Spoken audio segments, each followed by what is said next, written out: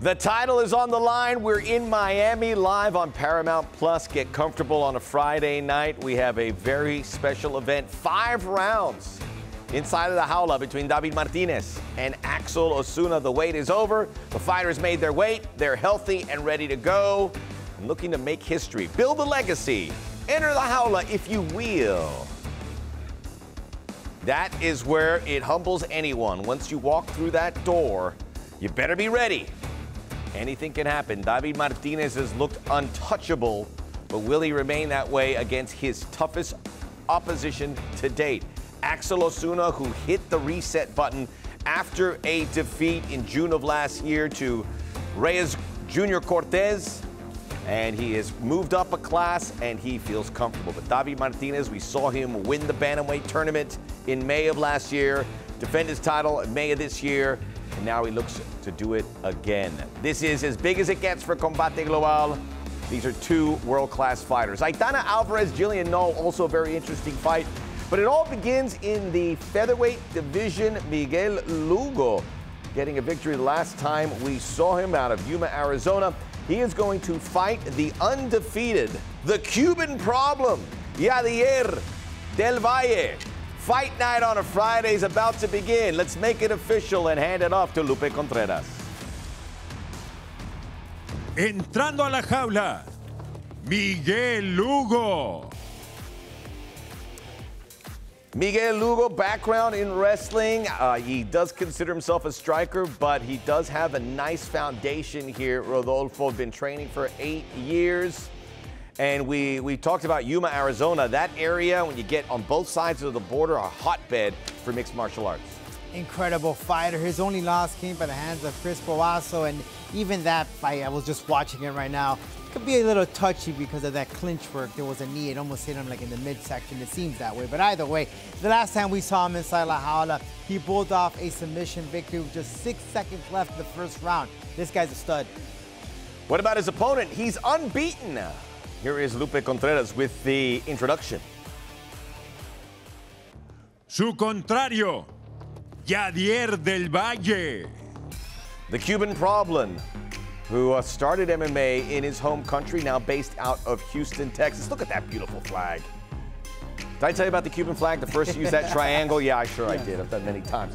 Uh, when he was a kid, he was a bit of a, an introvert would get into fights, and now he uses for professional ranks. And Rodolfo, 3 and 0 in his combate debut. That's a good record, but now can he do it in the big time? I've been looking forward to his debut. He was scheduled to compete a couple of months ago, a couple of weeks ago. However, for, for unforeseen circumstances, he's here today. Very exciting fighter. Look for the, the left hook. He has great cardio and an aggressive fighter. This guy is also a savage. When you put two and two together, Styles makes matchups. We're on for a good fight here tonight. Uh, this is going to be in the featherweight, 145 pounds. Both guys hit the weight. Both very young. Lugo just one year, the senior, two-inch height advantage, all even on the reach. Both guys like to finish fights. Lugo has finished both his victories. Del Valle has finished two of his three victories. A perfect 3-0. We're ready for our first fight. We're live. Let's go to Lupe. Este duelo, tres vueltas, división peso pluma, that's about three rounds. In the featherweight division, los jueces son, the judges are Ricardo Celis, Mark Streisand y James Lázaro. Presentando la esquina azul, vestido de rojo. Presenting the blue corner, wearing red. Su peso oficial, 145 libras y 3 cuartos. His official weight, 145 and 3 quarter pounds. Entra por cuarta vez a la jaula con dos victorias y una derrota. He enters la jaula for the fourth time as a pro, with two victories against one defeat. Fighting out of Yuma, Arizona, Miguel Mikey Lugo. Su oponente en la esquina roja, vestido de blanco, his opponent in the red corner, wearing white. Sobre la báscula, marcó un peso oficial de 145 libras y media on the scale. He registered an official 145 and one half pounds. Esta noche, entra a la jaula y pone en juego su récord invicto de tres combates profesionales. Tonight, he enters la jaula and puts on the line his undefeated 3-0 record. De Ciego de Ávila, Cuba, and now fighting out of Houston, Texas the Cuban problem. Yadier del Valle. El referee, Brian Miner. Brian Miner, the third inside La Jaula. Jump, went over the rules. Fight hard, keep it clean. Want to touch glove, do it now. You just did. Return back to the corners, please. Here we go, Miguel Lugo.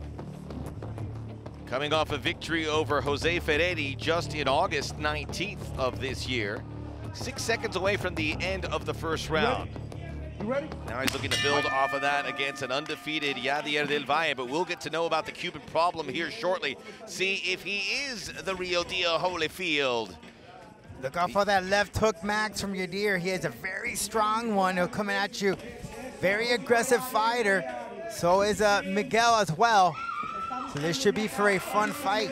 But Miguel, Miguel does have that strong background in the ground game. Look at that. That's that calf kick, calf kick from Yadier. Del Valle in the white, and he's been very active. No hesitation whatsoever from Del Valle as he hits the jaula for the first time. They're feeling out of the process. Needs to check those kicks. Lugo's not checking them. And Lugo comes into tight quarters and he Oh. gets a couple wallops from Del Valle. Seven years ago, started to train at Gracie Barra Westchase in Houston, Texas, Del Valle, who, uh, by the way, runs a company selling Cuban food, which we approve, and I'm sure the folks in Houston approve of as well.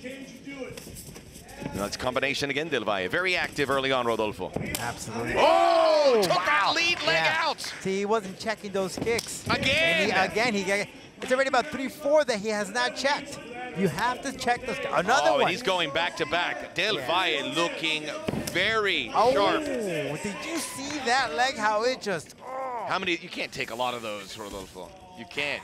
Nothing behind that kick from Lugo. It's gonna come a time that it's gonna see. He's already switched. Yeah, he switched because he felt that pain from that back leg. he was a lead at that point. It's interesting to see Del Valle because he's Cuban. When you're with the Cuban fighters, you immediately think Wrestling. wrestling, Right. judo.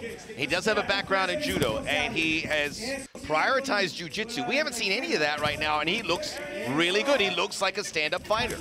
Absolutely, but those kicks are telling a different tale here right now in this fight from Yadier. I mean, they're coming with so much power. And another one. You're gonna see at the end of this round, that hamstring, that calf area, sure a little, uh, little reddish. It was interesting that, Oh, oh, it hurt him in the midsection. Out of wind, Lugo fighting for survival here. He'll take it to the ground, but a good guillotine attempt already from Del Valle, who is answering every question thus far. Yeah, Del Valle does have a submission victory. His last fight, no? Well, no, it was uh, that, December prior to that, yep. 2019. His Prior to that. fight. But Lugo, Lugo does have jiu-jitsu, but he may be, I don't see No, him. his arm's moving. He's trying to dig out. I can't see from this angle here. I don't know where his head is positioned. We it don't seems know. like a guillotine, but I so hard from this position to see. Brian Miner there he's out. conversation, but now Del Valle gets the back. Good work by Lugo. Absolutely, he has that strong base in jiu-jitsu. He knows how to get out of these tough situations. And as you see, he's gonna put this up, that arm out now from the clinch work, but he still needs to rip that right arm because Del Valle could just put all his weight. He could put him to Oh, sleep boy. if he has it tight. I can't see it from this angle, but if he has that, oh, rip, Well, Lugo's lift it up. He's out. Okay. Some blood between the eyebrows of Del Valle, and for the first time, really, Lugo can be the offense here. And now he's laying in some elbow shots, some fists. Great work, bro, from Del to get right back on his feet, taking the fight to the stand-up. Third fight for Lugo in combate. One and one in his previous two. First round submission rear naked choke over Jose Ferretti. And as Rodolfo touched on, it lost to Christopher Boasso in August of last year, which was a first round TKO. Good stuff, though, from Lugo in that clinch work. See how he's always moving around his hands. He has a lot of effectiveness in it. Landing in some elbows when he switches. Ooh, Del Valle sneaking in some punches. Single leg there by Lugo. It's into the guard. The guard. Under a minute to go here, round one. You can Look- see underneath look those at- yeah. hamstrings, it was red and I told you. I told you. Once Both legs. Both.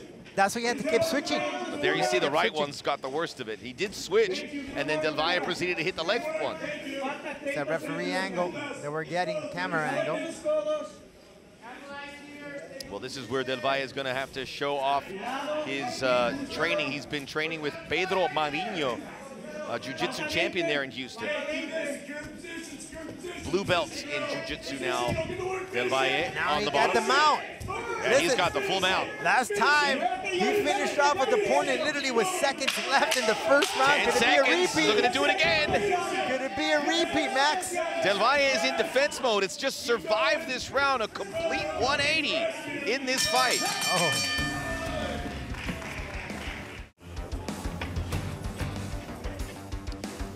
Ah, it'd be interesting to see what the judges think. And a remember, a reminder, we have open scoring here. How do they rate the first three and a half minutes from that man Del Valle, or is the last 90 seconds? Yeah, let's take a Good look, enough. Max. Let's take a look, Max, at some of the highlights from that first round. They're gonna see if he actually tapped. I would imagine this is Lugo. Right, it, would, it had it been in that guillotine position, but there was lots of exchanges. Lugo took this fight to the ground. There it is. That's where Del Valle attempted that guillotine, but I don't see that arm. Well, the referee's in the way. Ah, couldn't quite see from there.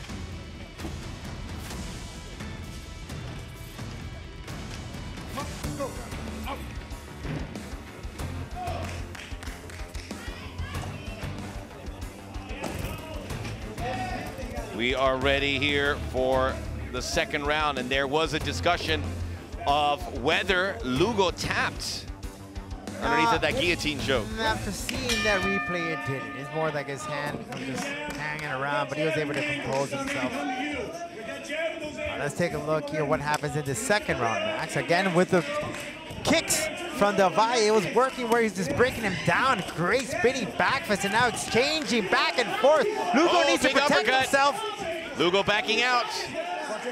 Del Valle using the break between rounds to his benefit. Del Valle, once he picks up that pace, there's no way of stopping him. You got to get him in the clinch, which is Lugo here trying to take advantage of this position. Maybe he could switch the levels, take the fight to the ground. And look at the open scoring, Max. Lugo taking that first round. Surprising, surprised by that. I'm a little bit. Yeah. I- If you were to split, if you were to split that that first round though, Lugo had the advantage towards the latter part of the round, and then the opening. But it was a small amount it- for yeah, it was. uh, But all three judges saw it. Yeah. And now Del Valle really has to put his foot on the pedal here in round two. And and and Lugo did work from the ground, and but he didn't do much from there. It was more that stand up and those kicks. Oh, body work there. He Ah, troubled it, Lugo got hit again. We saw that in the first round, and this time Del Valle has to deny the takedown attempt. He gets the back. Lugo does look hurt this time. I'm sure Devia's gonna try to put both those legs. He's gonna wrap it around. Uh, Lugo's hurt. I, don't, I don't know if he's going to get out of this one. Del Valle is an outpouring of punches, looking to improve to 4 and 0. And A warning from the referee to defend himself. Yeah, he needs to protect himself. Now he may even get the mount, and he'll be in really deep, hot water. Lugo is in trouble here. Del Valle now get those hooks in. He flattens out Lugo. Del Valle flattens out Lugo. He's going to stop this fight. Something happened with Lugo. He got hurt and he never recovered. Del Valle shot out of a cannon in the second round. 4 and 0 in his MMA career. 1 and 0 with Combate Global. It was that body shot, Max. It was a body shot that turtled Lugo, and Del Valle was just unstoppable. And see how they're lifting up there, the tights. Want to see that replay again. There is the victor, and now we cannot wait. A beautiful fight by Del Valle as he improves to 4 0.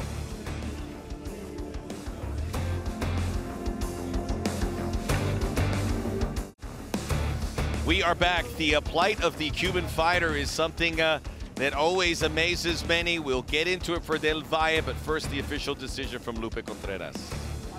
Una serie de golpes sin respuesta obliga al referee Brian Miner a parar la contienda con un tiempo oficial de 2 minutos 4 segundos del segundo episodio. A series of unanswered blows obligates referee Brian Miner to stop this contest with an official time of 2 minutes 4 seconds of round number 2.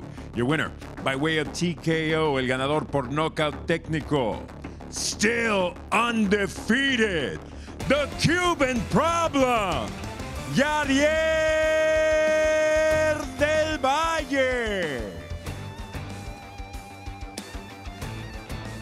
There is Del Valle, who moved to Mexico from Cuba at 17, started to train, kept building, found a home in the United States, and now is building a very nice resume. Can't wait to see him again. He was a very pleasantly surprising the way he handled Lugo.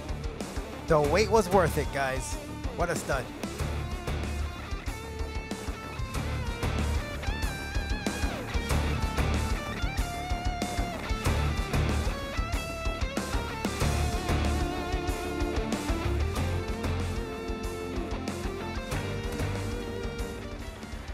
En mi primer pelea con Edgar Chaires, todo el mundo decía que iba a perder, cerré la boca, fui, peleé, demostré, lo finalicé. Después vine y peleé con Ricky Scraps, que es muy buen UXero, todo el mundo decía que me iba a someter. Fui, me paré, demostré, lo sometí. Después peleé con Bosco Boyer del Valle Flow, hice exactamente lo mismo, fui, me callé, demostré y lo finalicé en un round. En su momento, cuando peleé con Junior Cortés, todo el mundo decía que el equipo de él representaba mucho, que él era muy grande. Yo peleé, dimos tres rounds, dimos una pelea dura. Él me ganó, regresé al gimnasio, cerré la boca, no puse excusas, me puse a trabajar.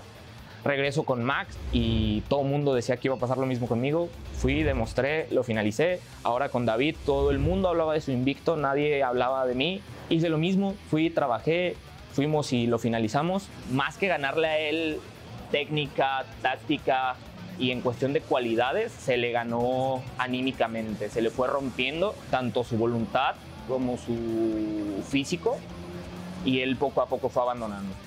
Realmente ahí pasó algo que yo no esperaba, yo no creía que el referee interfiriera y terminara la pelea.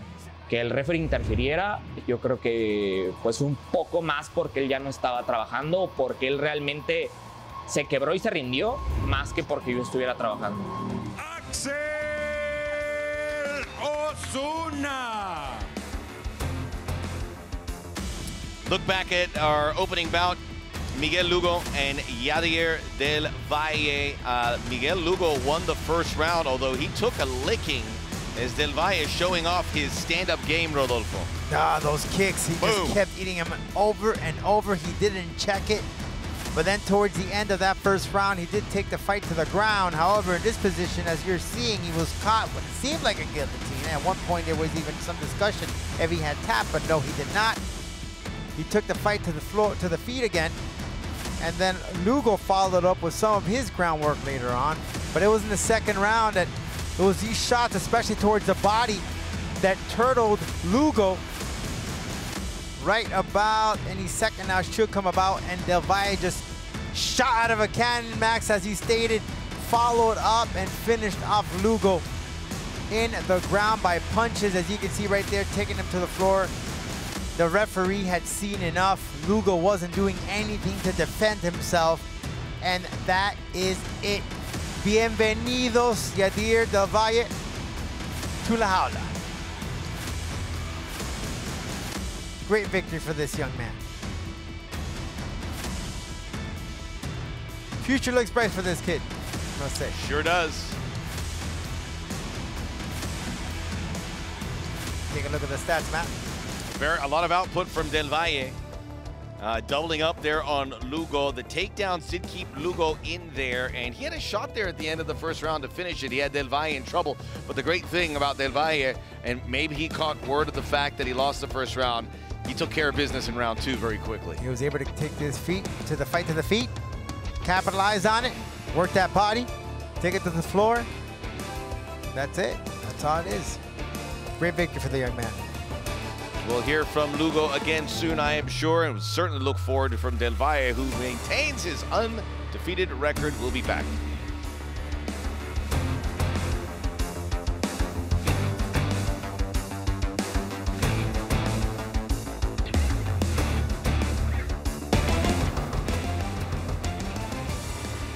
There he is, Axel Osuna, who talked about his debut with Combate Global against Edgar Chairez. He was a flyweight at the time. No one thought he could beat the heavily favored Chairez. He did.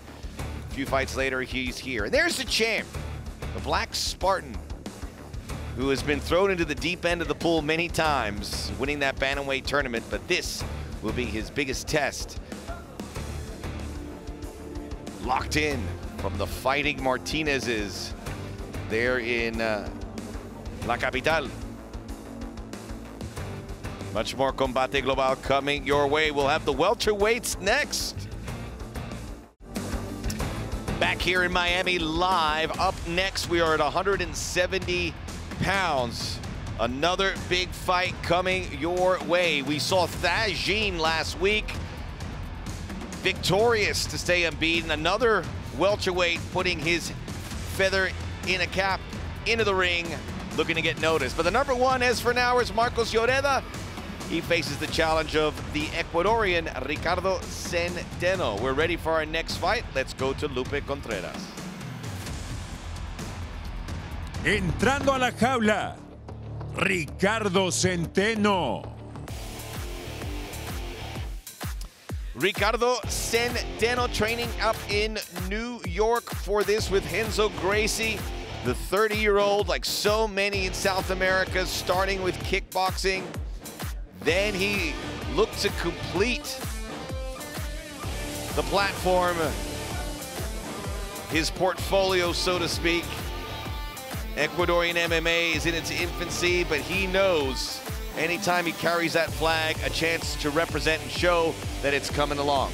And there's been some top fighters coming out of that country that made their way to the big leagues, this man being one of them. Big opportunity for him. First time fighting in the United States.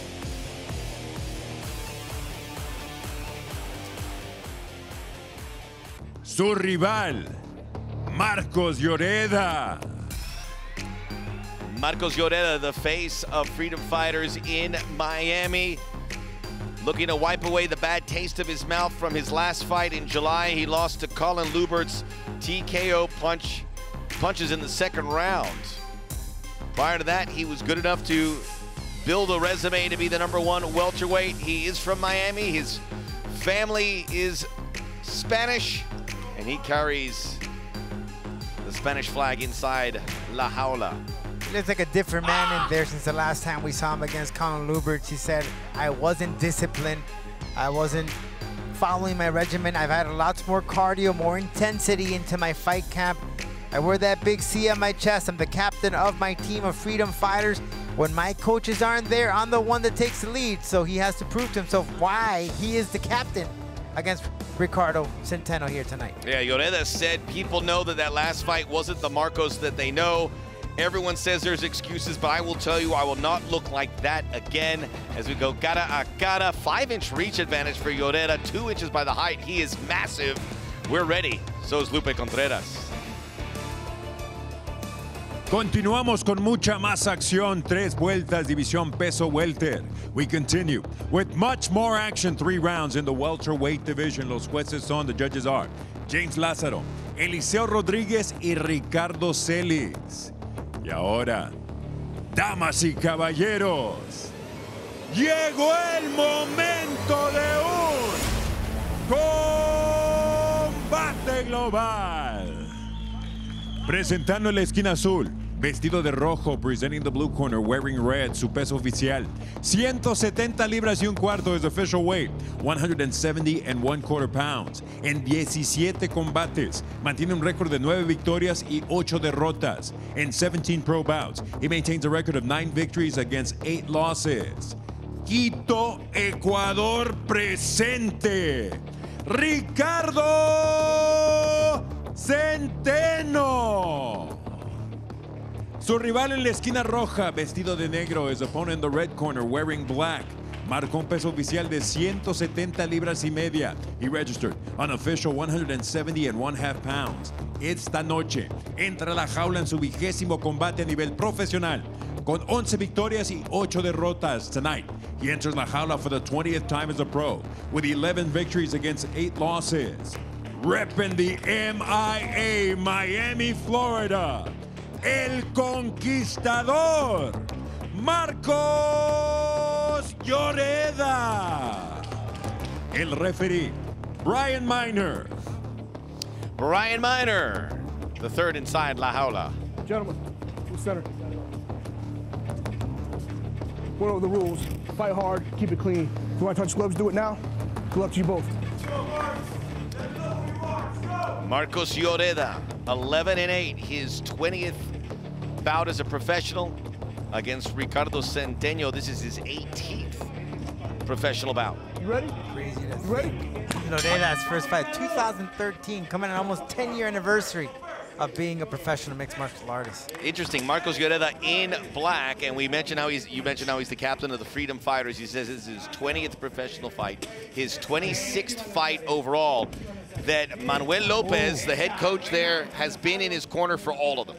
And that's something that, oh, Uh-oh, Centeno coming in hot. oh, Centeno changing the pace here in his previous fights. He's more of the counter puncher, more of a patient fighter, but he's bringing everything here tonight against Lloreda.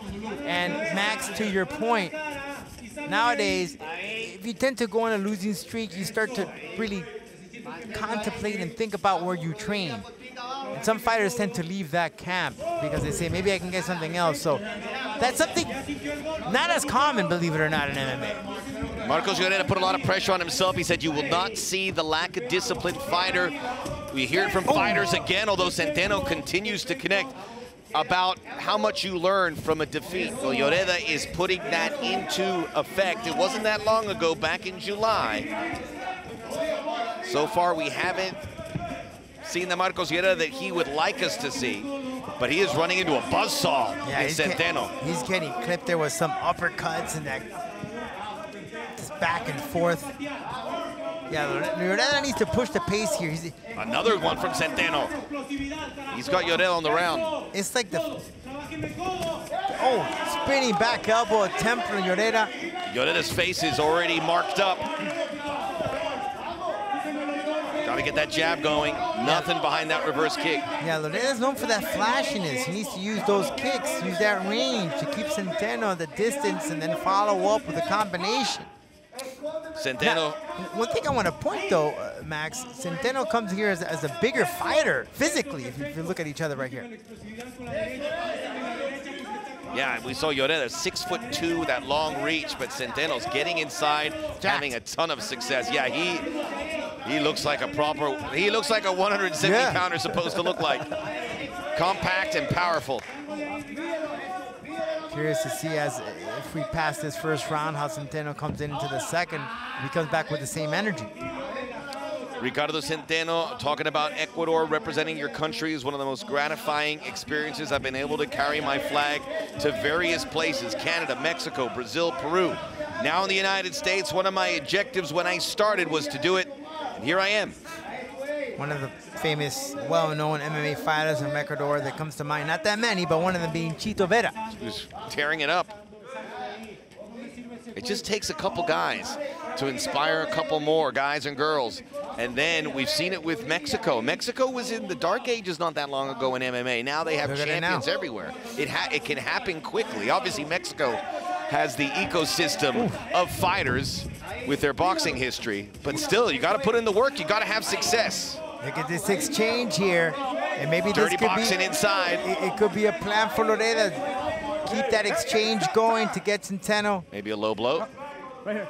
Brian Miner will break them up. Uh, Lloreda already You, nodded, right said there. he was okay, but you can get five minutes. And immediately you notice that that, That cut, mark right yeah. on his right cheek. Get five minutes. Stay right there. Stay right there. Yeah, the, the excess of muscles could come into play in the latter part of the Hey, fight, Max, but here it Okay, is, just watching the- taking at the replay. Oh, Lloreda already waved off, said he was okay, but do you take as much time as possible seeing how, how explosive Centeno's it, been? It, it, it- yes, um, but it depends too on the fighter because that in a way was benefiting Lloreda. Maybe that is the game plan to get Centeno to just keep striking to get him exhausted. I thought you were going to say getting hit in the groin is Oh, like no, you no, having no. a cafecito No, no, no, absolutely Maybe not. it is. I don't, I don't got him made of steel, Max. We've seen it before. It just can fire some people up. No one wants to get hit down there. Lead leg swept out there by Centeno. Wild Ooh. overhand right, and Centeno's just much more precise with his striking. Switches See, angles. Lloreda, Lloreda's just waiting. I think he has something up his sleeve here. He's yeah, he's trying to lure him in. See, because Centeno will come in and then he'll back off. He's not as consistent. New rankings should be coming out shortly. Uh, still listed at 170 pound number one, and that's a list that's going to grow because a lot more 170 pounders have been entering the ecosystem of combate just over the last two months. Lloreda does have those long legs. He tried to kick him, Centeno there, but he doesn't want to do it from that place. He has to have that little distance. Better from Lloreda. He came in. He missed with the right hand, but oh, that's what he's trying. He's got that big power punch. Now, Lloreda does have a back. Oh, great left hand from Lloreda. And again, a little boxing in there, dirty boxing between the two. Yeah, the clinch work. Great overhand hook, underhand hook. Fifth fight for, oh, good punch by Centeno, route one. Fifth fight in combate for Lloreda. And it looks like it's gonna be an uphill battle as we get ready for round two.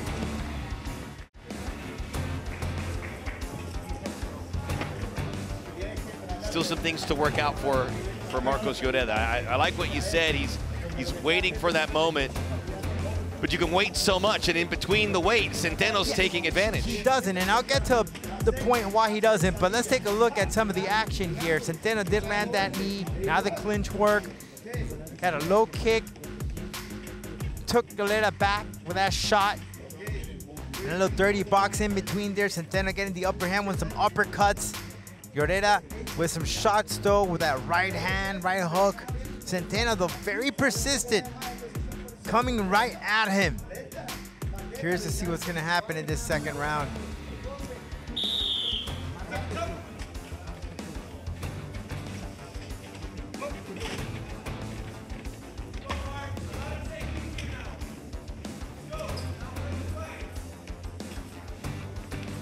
Getting ready for round two. Marcos Lloreda's gonna have to dig deep. El Capitan of the Freedom Fighters. He had some time with Marcos. Perez in the sandwich certainly is positive. And, and to the point, Max, that you said right before, between rounds, he may have something of a sleeve. This is something that he faced when he took on Ivan Choco Castillo, where he thought he won the fight, but the fight went the distance, and he ended up losing that fight. So he has to put the pedal to the metal if he wants to win this fight. Lloreda pretty active. Uh, Castillo fight was one of three fights last year. This is his second fight in 2022. Said his camp was much more intense and humble. A lot more resistance training. You have to learn from defeat and maybe another low blow. Right there. Couldn't, couldn't see. In fact, Lloreda even shoved off Centeno. Let's take a look at the uh, replay. Eh, Eh. I don't, I don't think it was as uh, transition, right? So these. hard as that previous one. That it- yeah, I can confirm. Yes, It was not. it was not. eh? Maybe see now this is Centeno using those five minutes. Look, look at this replay. Hey, on a break. Yeah, I I don't think. Centeno's wiggling around like he's trying to find some change in his couch. Sure, right you- there. I mean, you gotta do what you gotta do if you're given those five minutes. And if you notice the two in that one minute break between rounds, Centeno sat down on his stool. He was a little heavy breathing there. Okay? Yeah, let's go. Come on, right. So he took advantage of that time. And neither fighter took a lot of time, but we'll see how that manifests itself. Second round, not a lot of output from Yoda, but he's looking for the big punch. Centeno caught him. Centeno comes in with ferocity. Just so much faster. He said one of his goals was to compete in the United States. He's here. The knee catches Lloreda. I, I, I, am. I, must say though, I am impressed with Centeno. He's he's like a savage in there, chasing Lloreda, fast pace. Unlike his previous fights where he's more of the counter puncher, he's more of the patient one, the defensive one. He's on the offensive here. Yes, the first round goes to Centeno, so this could be a, a benchmark moment for him. He said it's very gratifying to see where I have come from. I carry photos from when I started fighting, speaking of Centeno and red, in garages. And now I'm proud to be fighting in the big leagues in the United States. And if he wins this, he can be really proud of his accomplishment, beating the number one welterweight. He is all over Lloreda. Yeah, Lloreda needs to move. He needs to cut the angles because every time he comes at him with those flurries, Centeno is connecting. He's eating some of those shots. Yeah, Lloreda has those kicks. He needs to, he has that big long legs. Yeah, Lloreda gives use. one and takes two. Also, work on some of those low kicks to break down Santana from moving. You get to see how big Lloreda is when they are framed up. Centeno's training certainly shining through. He looks precise, a man with a plan. Yeah, but look at Centeno. His energy's coming a little low. Why do you think he's trying to attempt to take the fight to the floor, Max? Over the head top there by Centeno. Much better applying the pressure. Now this is Lloreda's chance right here to be the aggressor, to chase Centeno and flip the page. And you hear that, you hear Lloreda's corner, let's go. He needs that aggression. Look at Centeno. Now he's back. Now he's backing up a bit. He's not being on the offensive side here because he's trying to catch his breath. Now you're there setting him up. He's using that reach. Keeps doing that little hip swivel. I think Centeno feels it gets him where he needs to be, but he's, right. he's flipped that about three or four times. Lloreda takes a big punch after the kick, looking a little wobbly. And that's the second time that Lloreda throws that kick and Centeno attempts to grab it and go for a takedown.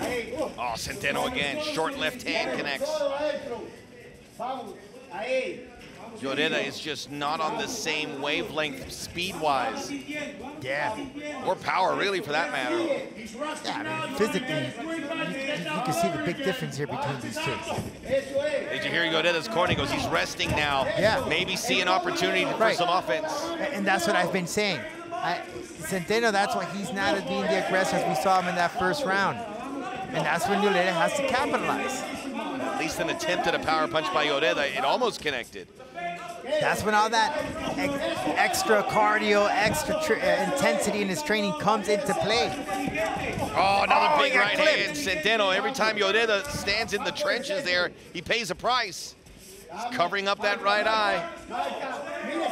I must say, though, even though Centeno is not being as offensive, every time Lloreda comes in, he'll let him throw one, and then he'll connect. Max Bretos, Rodolfo Roman here. A reminder, we're heading to the top of the hour, the Bantamweight World Championship. The man who is regarded as the best pound-for-pound -pound fighter ever out of Mexico, David Martinez, defending his strap against Axel Osuna. It's going to be fantastic. Stick around. We'll get you there. We got a lot of great action between then and now. Lloreda looking to finish strong here in round two. Oh, another left by Centeno. End of round two.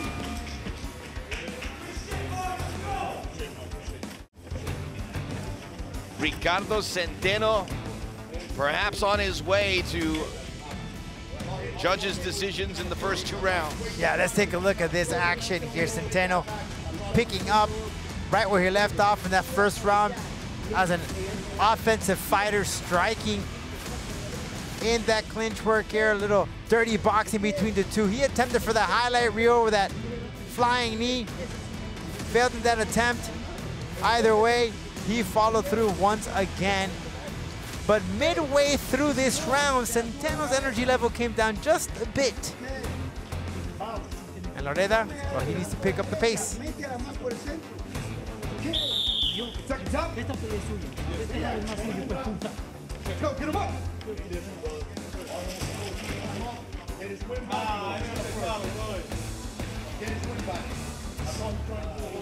We are back for round three. Marcos Lloreda cut up, beat up, Thanks to that man, Ricardo Centeno, in between rounds, Manuel Lopez, eye to eye with Lloreda. Lloreda said that he's like a father to me, I'm a son to him, and Lopez, who knows what he was saying, but it was like, it was one of those moments like, this is, this is it. Yeah, Centeno's corner said, this is your fight. This is it. And he was feeling it right here, right before we get started. I don't know what the delay is. It's been a, a stop and Yeah, start I don't, fight. uh, Two stoppages due to low blows, one for each fighter. I don't see what the. Well, the corner, Centeno say keep using that right hand. Okay, round three is we go. Ricardo Centeno in red. He has nine professional victories. Seven are won by TKO, two by submission. So all his wins have finished. What will happen here? He's never gone to decision and seen his arm raised. And maybe there's a reason for that, although he Oh. starts to bang again. Centeno starting off fresh. Lots of energy. Whoa. And they gave it to Lloreda. Okay. Uh, mildly surprised, majorly surprised. I'm It- it surprised. was- yeah. Now Lloreda, if he caught ear that, that's got to be inspiring. Oh, he caught him there with that right hand. That's what the corner's been saying. Use that right hand. Lloreda can take a punch. That much is true. Yep. He's been taking a few, and he still comes back, resilient. So it's anyone's fight, Max. Trying to get that jab going, set up the power punch for Lloreda. That jab is there all day. He needs to use that reach and follow up with those right hooks. Set up or set up the combination with the kicks. He has great kicks. He, he will, he'll throw in some flashy kicks every now and then and spinning elbows. Look right there. Just above the belt. Lloreda, always a great prospect. Five and one as an amateur, training for 12 years. Oh. Centeno combination. Lloreda slips on La Jaula. That was a pretty significant slip. Lucky to get his feet footing again. Now we're in the center of La Jaula. This is where it benefits Chorero. Let's see if he sets the pace, sets the tone of the fight. Look at that right hook. Got in there. Yeah, he got in there. Not with a lot of power, but it did clip him. that lead leg, and we saw Lloreda hit it once. It's kind of just sitting there asking for attention from Lloreda, but he's not responding. Covering up again that right eye. He's been doing that the last two rounds. Again, this fight really reminds me of that fight that he had against Castillo. And you don't want to leave it to the judges because it didn't go his way. He is uh, yo-yoed back and forth with wins and losses in his combate career. Again, this is his fifth. First started fighting in 2013. Actually won by an armbar in the first round. More from Centeno. Heavy punches, tight quarters, dirty boxing. Uh, great stuff from Centeno, I must say. Great striking. Blood starting to flow from that right eye. I don't know how, if Lloreda's hurt there, but he continues to protect it. You can see the blood, but we don't know internally how bad it is. There's some, first time we're using him, seeing him with the jab. It's worked. It, it has, because he has that, oh, Good right there's that hand, right yeah. hand. Yep, but he has to follow up. Two minutes to go here, round three. Again, it's all even after two rounds. Centeno looking a little tired. Certainly not as fresh as we saw him. To be expected. he's almost there like when your car starts going bing. Time to fuel Where's, up. where's the station? Hopefully he's not in the middle of a desert. I would know going electric here. But Lloreda, look, that low kicks are there to Oh, set up the left hand by combination. Fighting for himself, fighting for Ecuador. Once he gets in that exchange, though, Centeno is having the advantage, landing in the, uh, the, the uppercuts and hooks. Look at another one there. Yeah, Lloreda needs to tick to that jab. He has a minute to go. It's actually been a better round for Lloreda. Yeah. He can- and He we may- see if he, he wins this this round, off, he wins yeah. this fight. He may pull this off. It would help to have a grandstand final minute. Blood yeah. really pouring from that right eye. I wonder if it's worse than it looks, and it looks pretty bad. This last minute is gonna make a huge difference in what the judges see, Max. And right now, Lloreda's looking good.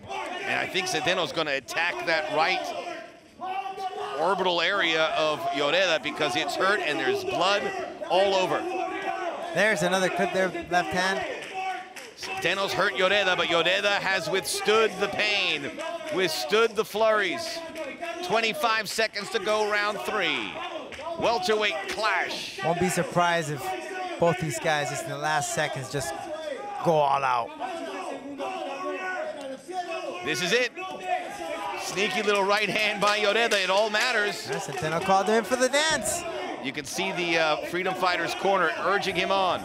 He just has it in oh. his foot. Root oh. one powerful right hand from Centeno. He puts a little stamp on his calling card. Is it enough? This is going to be edge of your seat decision time. But somebody's going to win it. I won't ask for Rodolfo. He doesn't like predictions. you put me on the spot again, right? I wouldn't want to predict this one. It is super close. We'll be back with the official decision. Centeno Lloreda going the distance.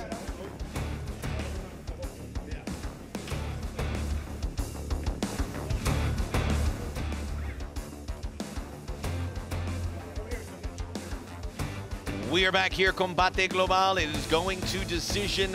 Centeno on the left, one round one. Lloreda on the right, one round two.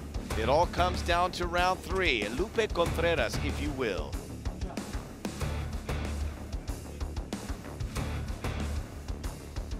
Después de tres vueltas, esta es la decisión oficial. El juez Lázaro anotó 29 a 28 a favor de Centeno. This is the official scorecard after three rounds. Judge Lázaro scores at 29-28 in favor of Centeno. El juez Rodríguez, 29-28 a favor de Lloreda. Judge Rodríguez scores at 29-28 in favor of Lloreda. Y el juez Celis anotó 29-28. Judge Celis scores at 29 to 28 in favor of the winner by way of split decision. A favor del vencedor por decisión dividida. El conquistador, Marcos Lloreda. Marcos Lloreda coming from behind to get the victory via split decision. And uh, the Freedom Fighters, folks, that's their guy. Their capitan, oh, man, victorious. I, I, I, got a kick every time I see Manolo. Oh, he's excited all the time when the fighter wins. Shows much. Uh, love we love Marcos. He's a quality guy. Great interview. He had to really scrap for this result, but he got it. Main card coming your way next.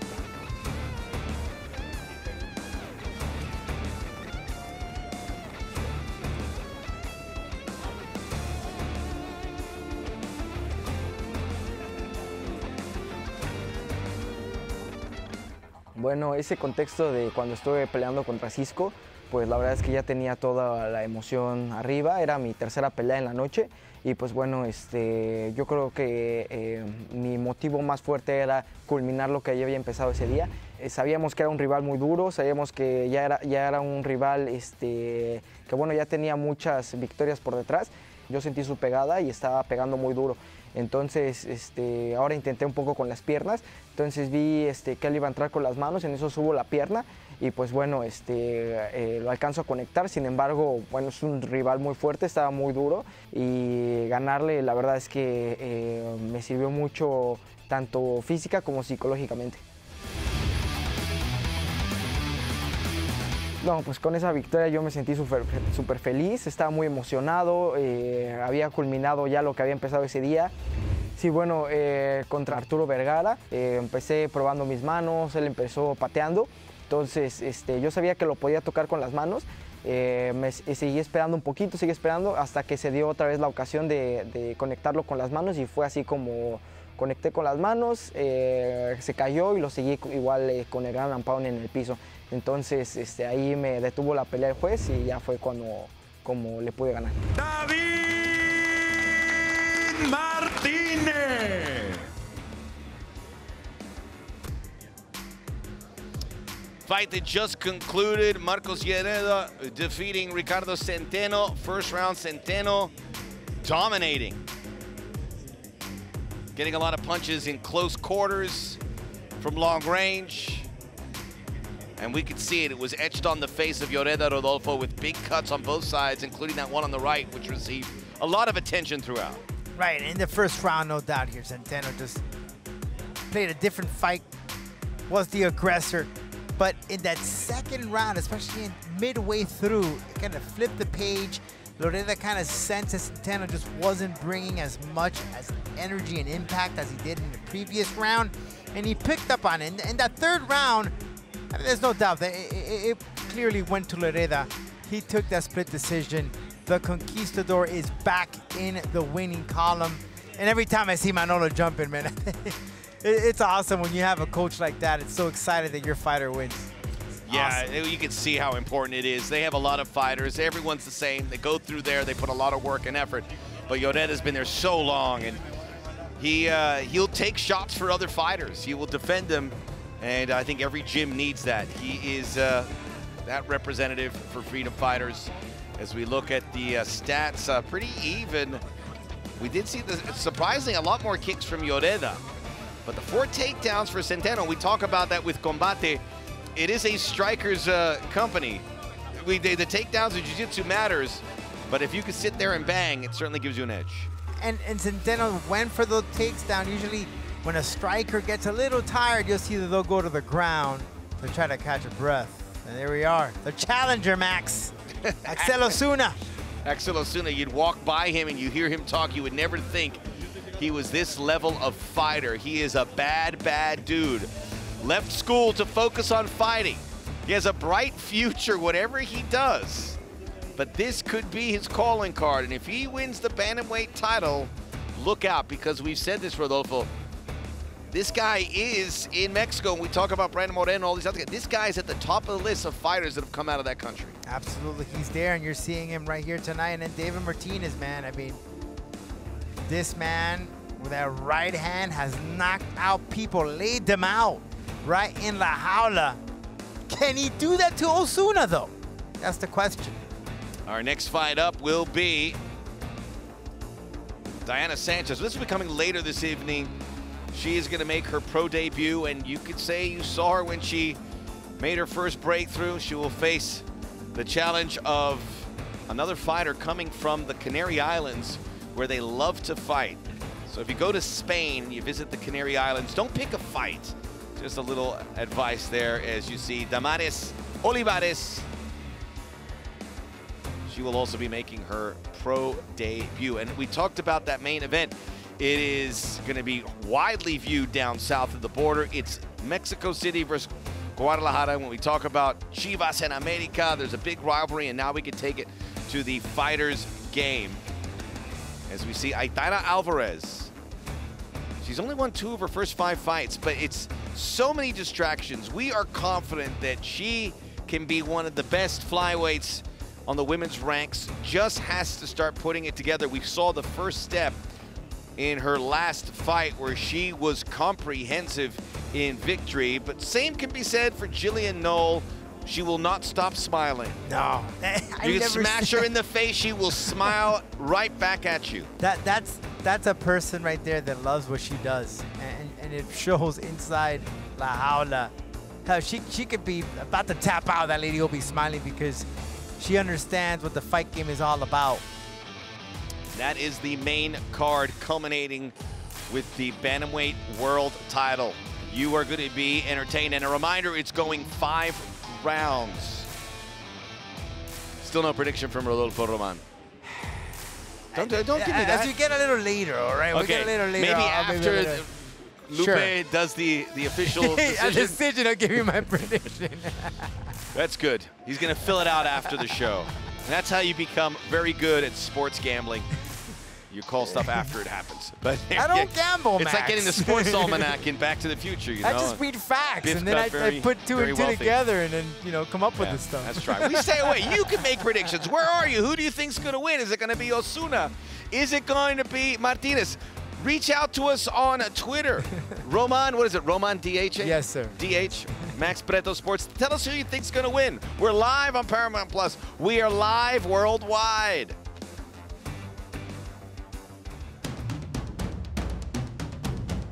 Mi nombre es Axel Osuna, tengo 25 años y soy de Guadalajara, Jalisco, México. Yo peleo por ser.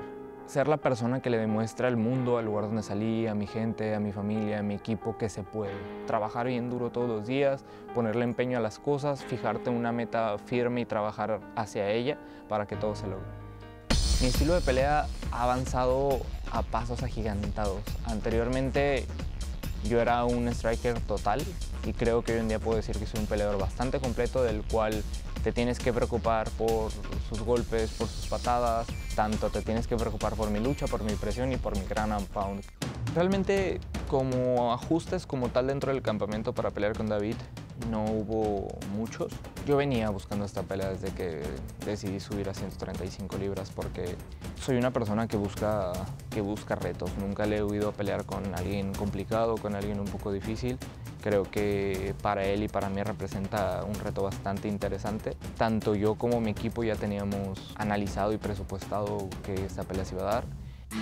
La pelea mía contra David se va a desarrollar de manera dura, no hay otra manera. El hecho de que yo pueda controlar dónde se queda la pelea, si la dejo de pie, si la llevo al piso, eso para mí es muy importante.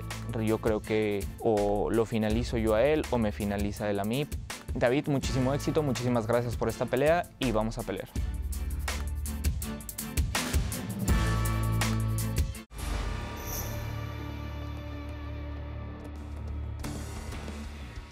Backdrop all year for Combate Global. There have been some big fights, but perhaps none bigger than what we will unfurl in about an hour's time. The World Bantamweight title on the line between two of the best fighters at 135 pounds anywhere. Step inside. Get comfortable in La Jaula. But once you're in there, you better be ready to deliver the goods. It's not for the meek. And tonight, it is for a championship. Our good friends at TUDN broadcasting it throughout the United States in Spanish. Our friends at Televisa. This is going to be a heavily viewed fight. We will talk more about Axel Osuna and David Martinez for the strap, for the goal. But Aitana Alvarez and Gillian Noll's going to be a good one at 125 pounds in the ever-growing women's division. Let's get to know these two fighters who will be going to war inside La Jaula.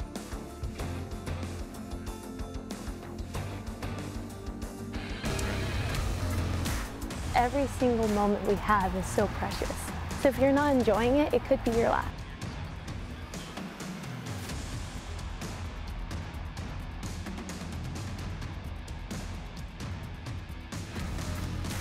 Every single moment we have is so precious. So if you're not enjoying it, it could be your last. MMA, that's probably the most valuable thing it's given me is the community and just the people. I never really fit in anywhere until here. My name is Gillian Noll and I'm from Spokane, Washington. Yo creo que los peleadores españoles pueden llegar a destacar ante otros países porque tenemos muchas ganas y, y, mucha fuerza de voluntad para poder dar un buen espectáculo. Soy Tana Álvarez, tengo 22 años y vengo del País Vasco, de España. I describe my fighting style as very much mixed. I definitely love the ground and wrestling, but I've been working really hard on improving my striking to become a complete martial artist. Creo que, que va a ser una, una, pelea bonita y que quizá pueda llegar a, a terminar antes de tiempo. I do think I'm going to win this fight because I train the hardest I can do, and that's the only thing I expect is to win if I train the hardest. Expect a tornado because it's definitely coming towards her. Gillian, espero que hayas entrenado muy duro para esta pelea porque yo también lo he realizado y bueno, espero que demos una buena pelea. Te espero en la jaula.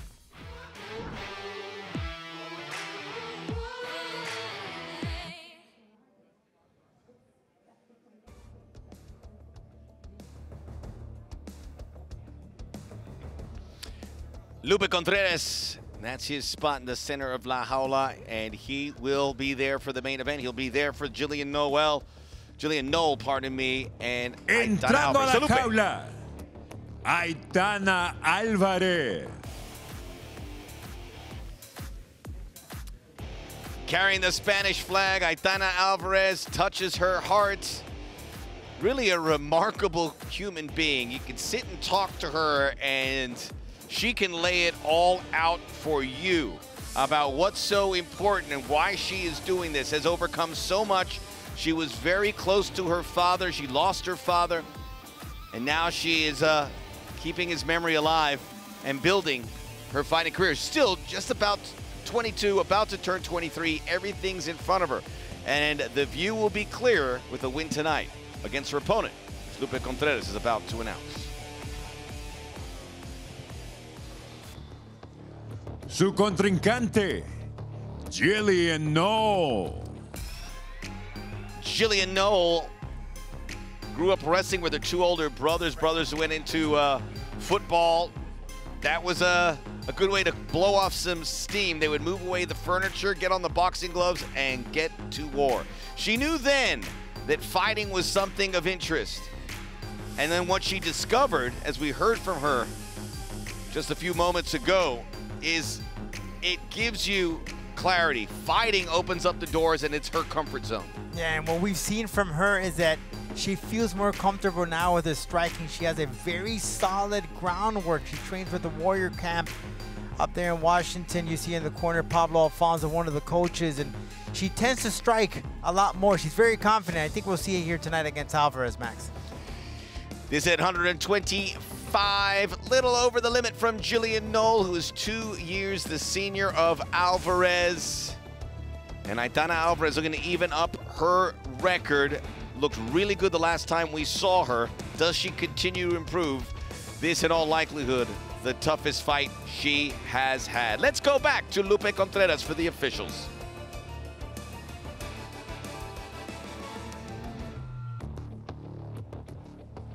Las reglas oficiales de la jaula, tres vueltas de cinco minutos, tres jueces utilizando el sistema de 10 puntos. Este duelo, división peso mosca bout. In the flyweight division, los jueces son the judges are Mark Streisand, James Lázaro y Eliseo Rodríguez. Presentando en la esquina azul, vestida de rojo, presenting the blue corner, wearing red. Sobre la báscula, marcó un peso oficial de 125 libras y media on the scale. She registered an official weight of 125 and one half pounds. Entra por sexta ocasión a la jaula. Con dos victorias y tres derrotas, she enters la jaula for the sixth time as a professional, with two victories against three losses. De San Sebastián, España, Aitana Álvarez. Su contraria en la esquina roja, vestida de azul, her opponent in the red corner, wearing blue, su peso oficial, 126 libras y un cuarto, her official weight, 126 and one quarter pounds. Entra por quinta vez a la jaula, con dos victorias y dos derrotas, she enters la jaula for the fifth time as a professional, with two victories against two losses. From Spokane, Washington, Jillian Bocarino. El referee de Panamá, Marcos Pérez. From Panama, Marcos Perez the third inside La Jaula.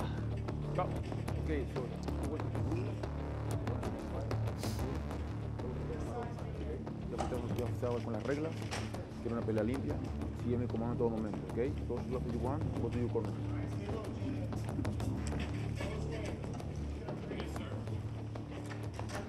There is Gillian Noel. ¿Estás lista? From Spokane and from San Sebastián in Los Países Vascos of Spain, Aitana Alvarez. Yeah, look for Alvarez is striking, great low kicks. But again, she has evolved, especially with her wrestling.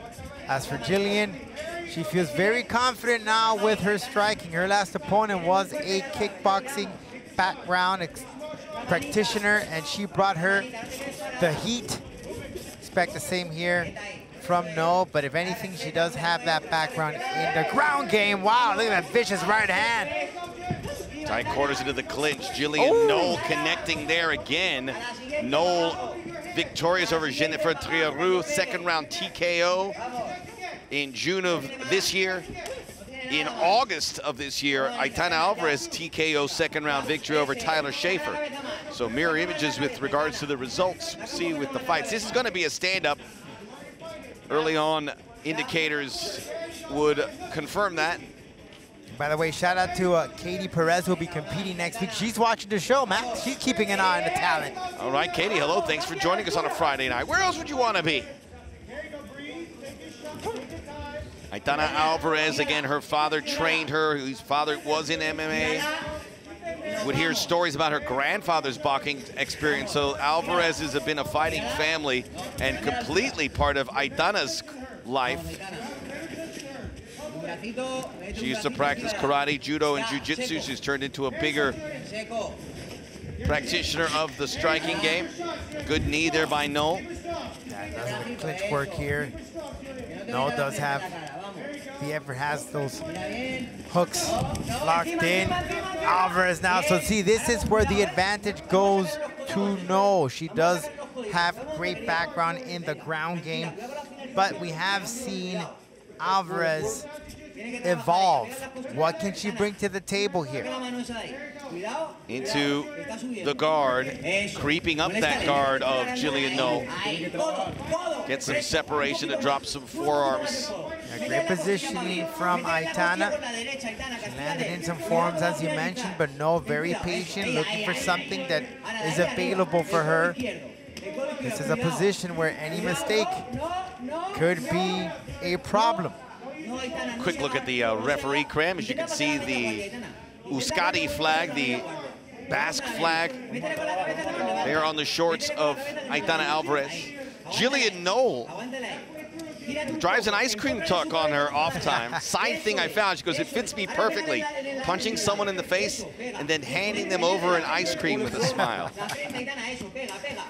So bubbly, man. That's, she's a very charismatic fighter. She really is. And everyone loves ice cream. Not everyone can eat it, but everyone does love it. Alvarez has taken the high ground and has made the most of it. Marcos Perez has been vocal, perhaps thinking about splitting him up, but Alvarez is busy enough. Yeah, they're, they're both busy.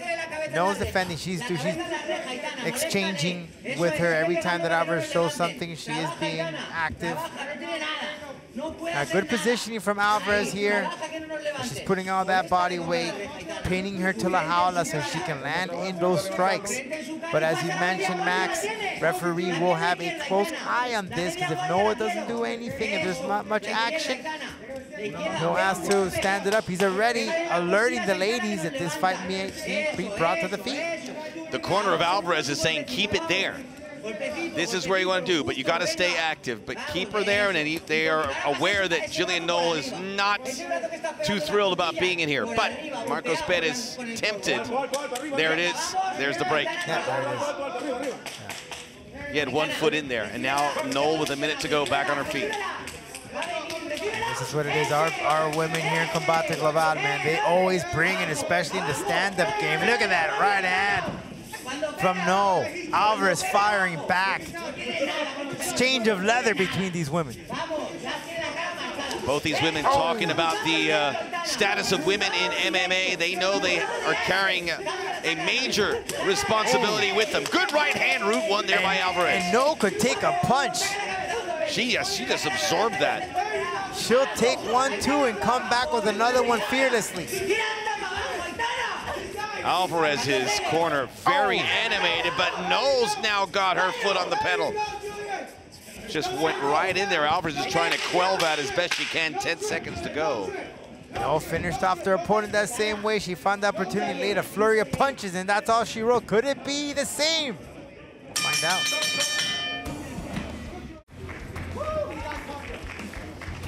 Gillian Noll not to be messed with. Jeez you look at the smile, it, it could throw you off, but this is a, a, a fighter with a motor and a focus and a desire.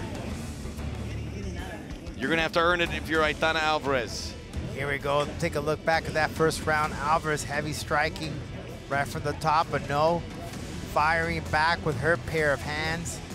She laid in the knee as you saw in that quick exchange of a clinch work. As you can see from the referee cam, the fight was brought down to the floor, but eventually referee stood them up, and that's how the fight ended in that first round.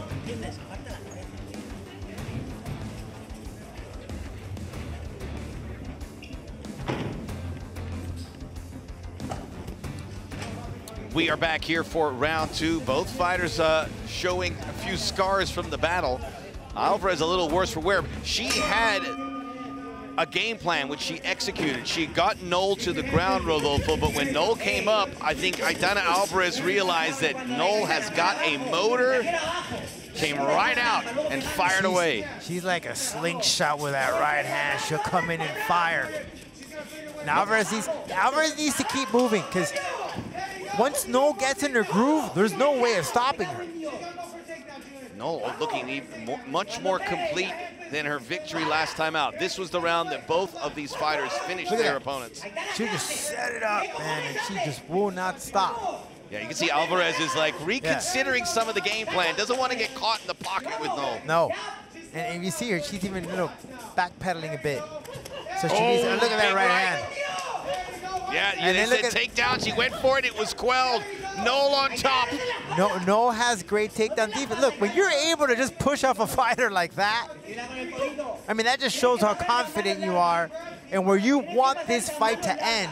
And that's right here in the Celera in La Jaula, exchanging. Training out of Warrior Camp. Gillian Noll saying Warrior Camp is my home. They are my family. She lives in the gym, and you can see her. Oh. She's been working on her craft. They gave that one to Alvarez. Well, she had a good start to the opening round. I will say that Gillian Noll has got round two by the scruff of the neck, but still early, early. Asking for kicks, Alvarez's corner. Oh, good right hand again. Noll's getting it in there. Short right hands. Yeah, No's being more of the aggressive here, being pressuring Alvarez. Alvarez looks uncomfortable. Yeah, she does. Left hand by Noll. Not much behind it, but it connects. Using both hands very well, Noll, and her feet. I like what you said about the slingshot. It feels like she's Yeah. slinging rocks right now towards Alvarez. And she puts all that power coming from that back leg. Take a look at that, those stats there that you're looking in real time. More punches thrown by No, kicks as well. That, and I think Alvarez was leading those categories, but now Noll's passed her and starting to distancing herself. Just as that went on, it went from 82-74 to Yeah. 89-74, 11-5, 13-5. You know, it was at that one takedown that just happened in this round from Alvarez, and that's about it. Does Alvarez want to get this to the ground? We had that one takedown attempt, which was squashed. But No does have that background in jiu-jitsu. It, could- it could it could backfire, but no, Alvarez was doing a good job in positioning her body where she can land in some hammer fists, working the rib cage area. But Minutes to go. Round two. And now she's using that distance there, moving around, cutting the corners, is exchanging. Now Alvarez piggyback or, or going back to that, that str- strategy that she had from the beginning, to stick and move, stick and move. Good left hand there by No. It's all about impressing the judges here. She has uh, a hole to dig out of after losing round one. Official scorecards. Great jab from No.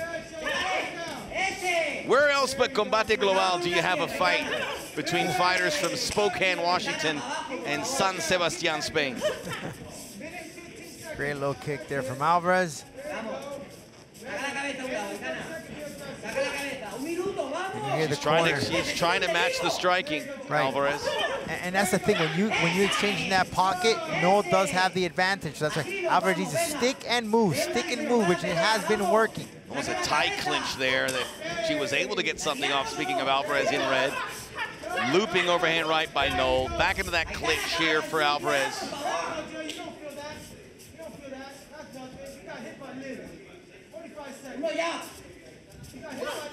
Neither wants to engage.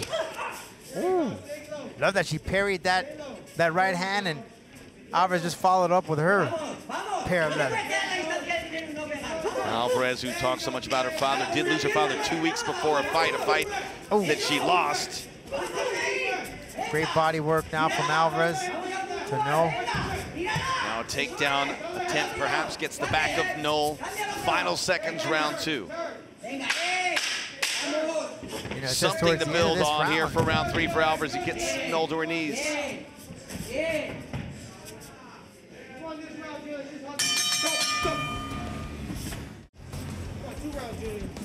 We're going to head to a third round. Sorry, it, it seemed like No had the upper edge in that opening round, and then it right, went right back to Alvarez. Let's take a look at the highlights here. No went to the exchange, threw her opponent down. Fight went right back to the feet. And then Alvarez exchanging here once again. She tried to go for some clinch work here. Connected with an uppercut. Back and forth. At them shots there. But then she worked for the body towards that round at the end as well. But no, always smiling, no matter what. You gotta love it from this girl, man. Still that smile. Very little coaching from the corner, too. They have confidence and faith in their fighter, Gillian Noll.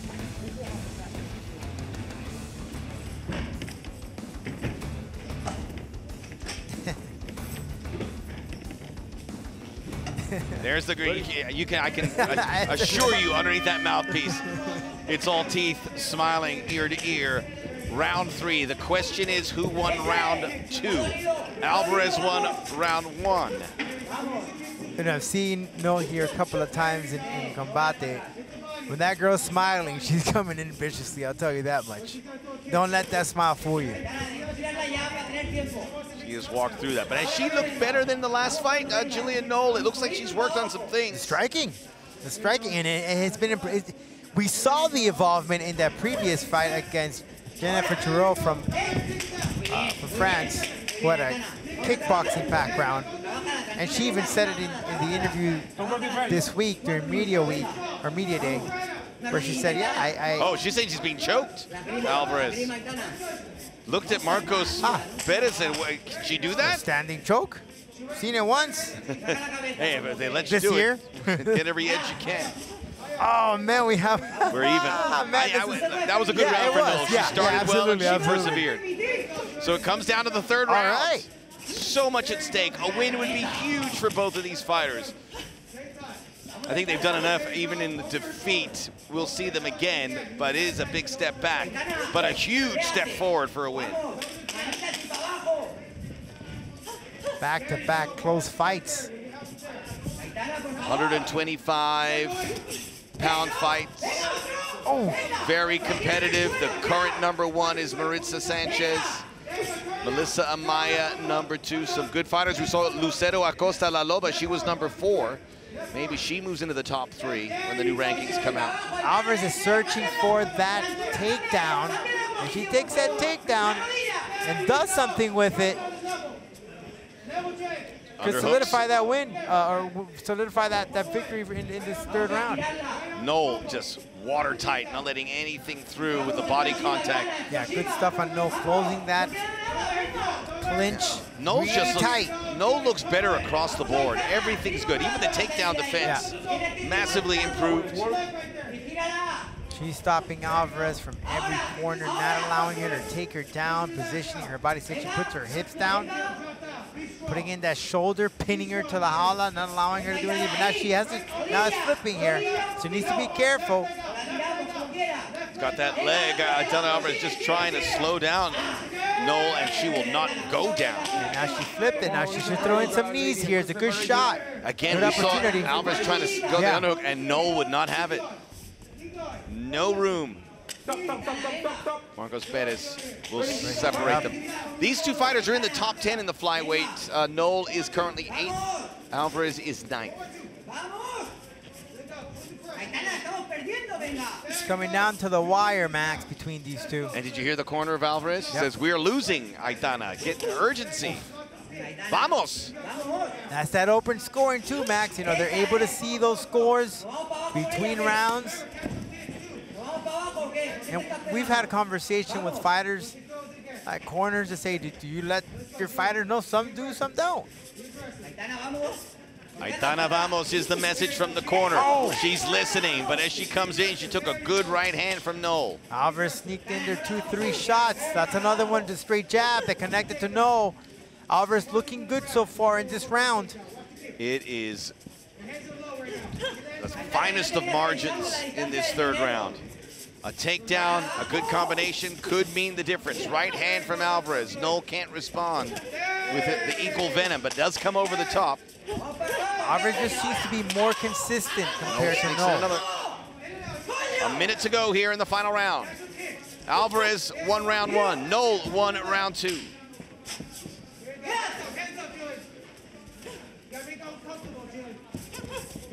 You hear the corner from Noll telling her, work the leg, kick her. Almost and that's a to set it leg. up. Yeah, setting it up for some combinations. But Alvarez now bringing it to the clinch. And Alvarez is banking on a takedown here to be the difference. Right, and that, that could be the big difference if she were to take her down right here. Nope, closest it's been. Noll again with brilliant defending. Yeah, great clinch work there. She gets nice and upright, wedges in there like Yeah. a doorstop. Great pummeling. See how she puts that shoulder there? This is going to be very tough to call. We always say you don't want to leave it to the judges. Sometimes you, the judges don't want you to leave it to them because they're going to have a real Then dilemma. you make them work. They're going to go, oh boy. So much at stake for these two fighters. And she's apologizing for the chokehold. Well done, class act Gillian Noll, but it's now judges' time.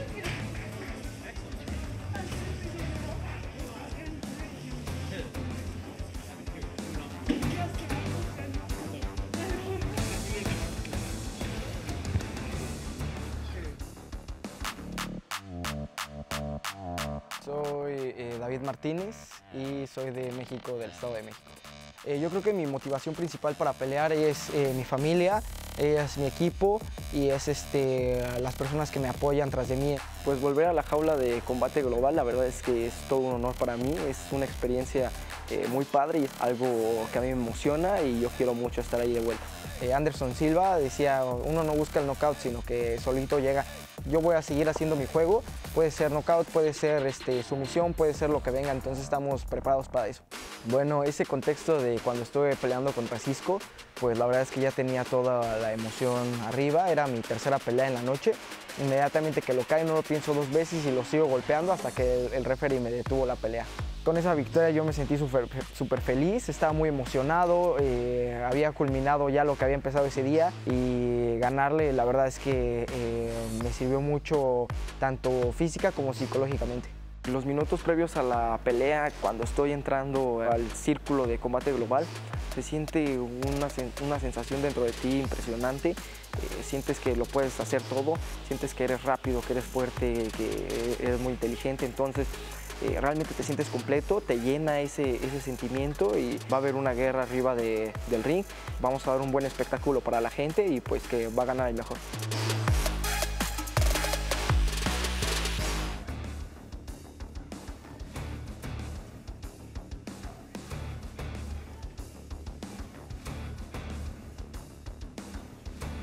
El juez Streisand anotó 29 a 28 a favor de Álvarez. Judge Streisand scores it 29-28 in favor of Álvarez. El juez Lázaro 29 a 28 a favor de Noel. Judge Lázaro scores it 29-28 in favor of Noel.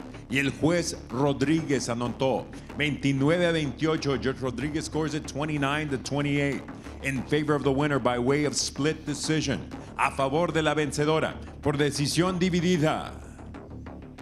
Gillian Valkyrie No! This was so tight, split decision, and you know the judges that gave that third round to Noll probably had to really flesh it out as much as they could. Back-to-back victories for Noll, three and two, and on the rise in the women's flyweight division. Well deserved. Well, Aitana Alvarez had a strategy, Rodolfo, in the opening round, and she executed it. There was a moment that they were on the ground. Marcos Perez picked them up, and then it swung in favor of Gillian Noll. Looking back at this highlight, one thing that I would see from Alvarez she was standing up too much, so she would take those shots. She wasn't bobbing and weaving. For no, again, when she would get in that flurry of punches, there was no way of stopping her.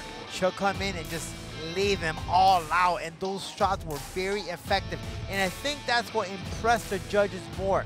And Alvarez attempts those attempts at takedowns, no one just will push her and shove her away. That shows a lot of progress in this fighter. knowing that she's very confident. So I think that's something that maybe the judges also allowed them to sway the victory to no. I, mean, again, it, was she she just had the upper edge. It was a razor thin of a, of a fight here. There's no doubt here. Alvarez though, that she she had great crisp boxing, no doubt. She was going for that takedown about two, three times, and every time she would, No will stop it every single time. So that defense from No also would make a difference. But again, this was a very close fight. Congratulations again to this young lady. Up next, debut time for Diana Sanchez. Now finding out of Bellingham, Washington. And she will face the challenge of another Spanish fighter in Damaris Olivares from the Canary Islands, which where the majority of the Spanish fighters come from. That is coming your way next live on Paramount Plus, worldwide audience, Combate Global.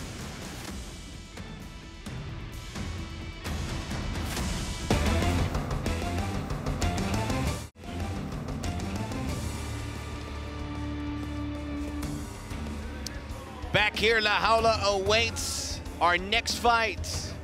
Damari Alvarez taking on Diana Sanchez, both making their professional debut. And let it be known, this is a starting point for mixed martial artists. They have been handpicked to make this opening bout with this incredible company and see where it goes. You got to start somewhere. You get to see the starting point along with them. This will be in the strawweight division. A stacked weight classic combate. We'll see if one, if not both these, can make their way towards the rankings and beyond. Originally from Ferndale, Washington. Uh, we have hats off to Sanchez, did all her PR in Spanish. Now she's going to do her talking inside the jaula. Let's go to Lupe Contreras.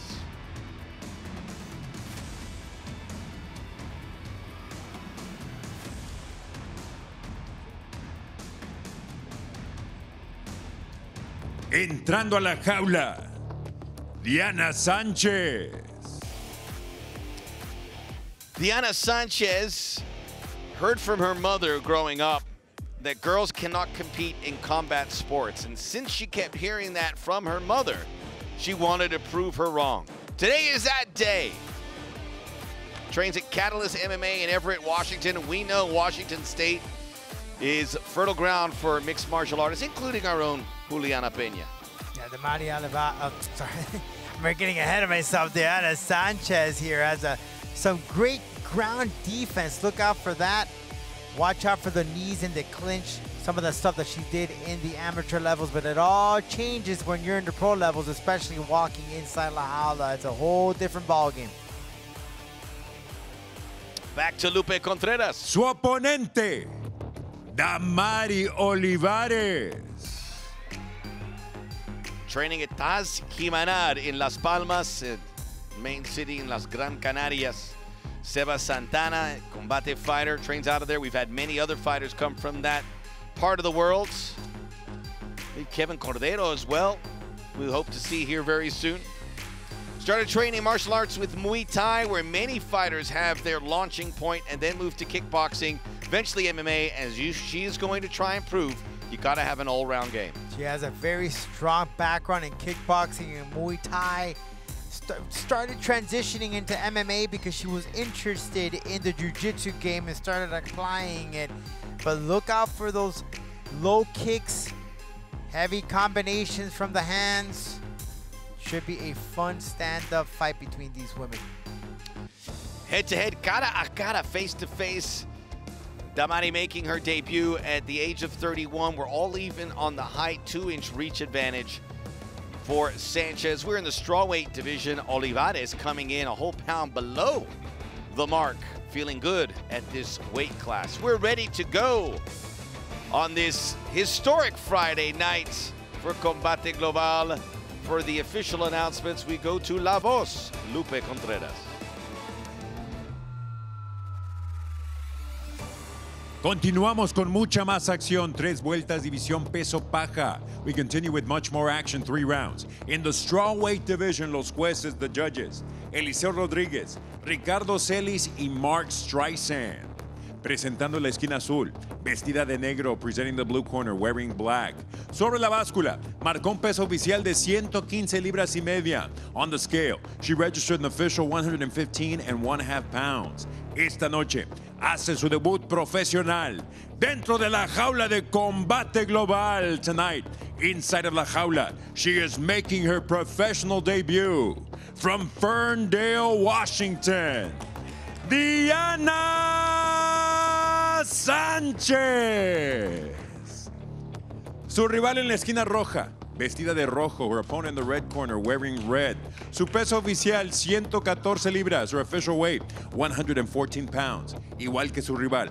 Esta noche debuta a nivel profesional dentro de la jaula like her opponent. She too is making her professional debut inside of la jaula, representando a Las Palmas Gran Canarias, España. Damari Olivares. El referee de Panamá, Marcos Pérez. Marcos Pérez, panameño. Third inside La Jaula. Ya saben las reglas, quiero una pelea limpia, ¿ok? Obedezcan mi comando en todo momento, ¿ok? Toquen guantes y van a su esquina.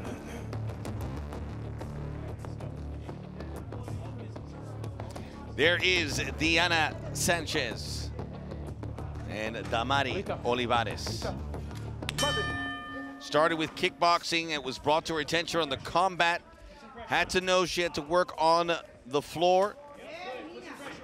And for Damari Olivares, all in red, the Spanish red and yellow, single leg goes into a, a little further up into a clinch. And you might have heard Max, the corner of Sanchez, put that pressure. That's the pressure that he was asking for. Just go straight to the ground. You want to do that against a stand-up fighter, just to throw them off guard right from the bat. You'll see some growing pains, I am sure, but you'll see some talent shine through. These fighters have been hand-selected as ready for this moment. The gyms in Spain and certainly Taski Manar in the Canary Islands said, Olivares is the one. She says, this is my dream. Here's where I can obtain it. Yeah, referee already giving the alert that if they don't do any action, he's going to spit this up, take it to the uh, center of La Jaula. Now a little bit of separation. Only both are considered strikers, so it's interesting that this is the way we begin. All right, Sanchez might go here. Well, she had an opportunity to take it to the floor, but got right back to the feet. Olivares wants this in the center of La Jaula so they could both exchange. Diana Sanchez, who says, I feel I am the same person in and out of the jaula in the gym. I am respectful, but if you don't respect me, I can break some heads.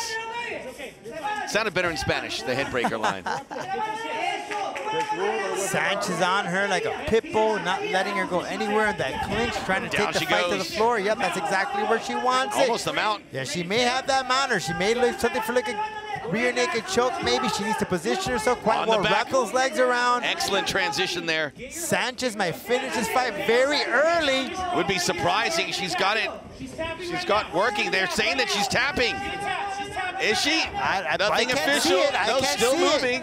I can't see it, and by this time she probably is asleep if she was tapping. But Oh, no, she's up. Yeah, there's a tap. There's a tap. It's over.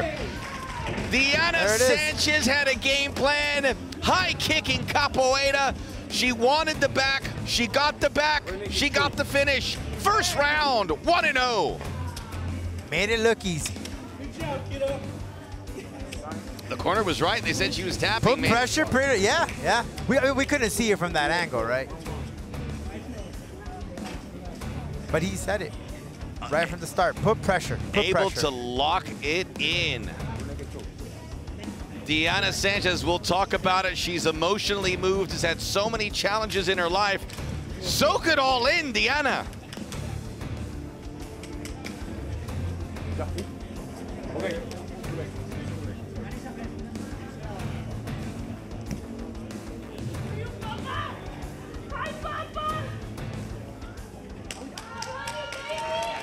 Excellent stuff, Diana Sanchez. This is the good stuff here. Now we didn't get into her story. She has a great story as well, Max. But uh, we will try to share it as best we can. 20 years old, her family was homeless. We'll talk about that here when we return. We'll get the official decision as well inside the jaula. Back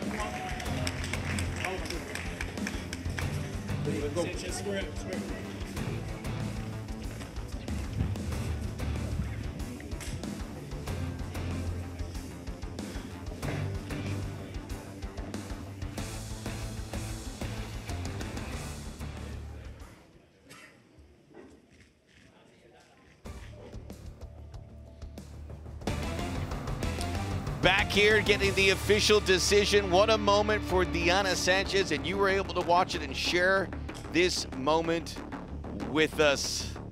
Now she's about to get her arm raised. What a moment. Let's go to Lupe Contreras. El tiempo oficial, 2 minutos 4 segundos del primer episodio, the official time. 2 minutes 4 seconds of the opening round. Your winner, by way of submission, la ganadora por sumisión. En su debut profesional, Diana Sanchez. You're going to love her story. Six siblings. Her family was homeless for a few months when she was 20. It did bring the family together. Her big accomplishment, buying a house at 23 and getting to put a roof over her family's head. She has an autistic son. Nothing was easy for Diana Sanchez.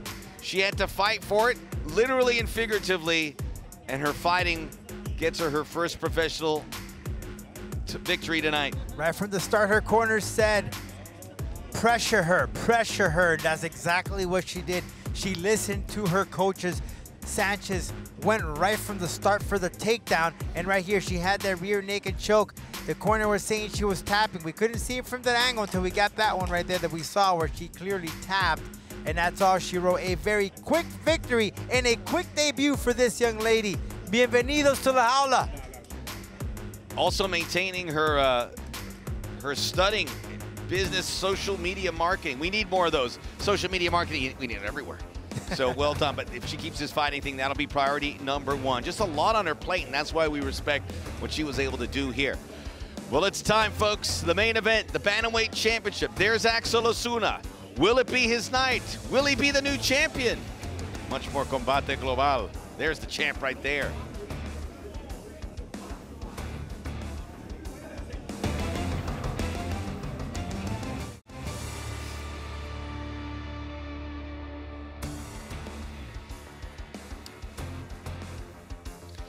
There are the combatants.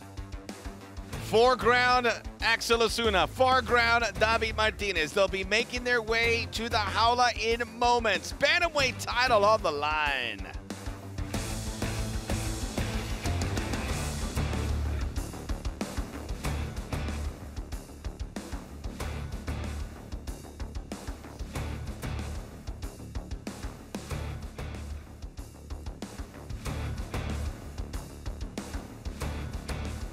There is a Axel Osuna. He has earned this spot. Two impressive wins in 2022.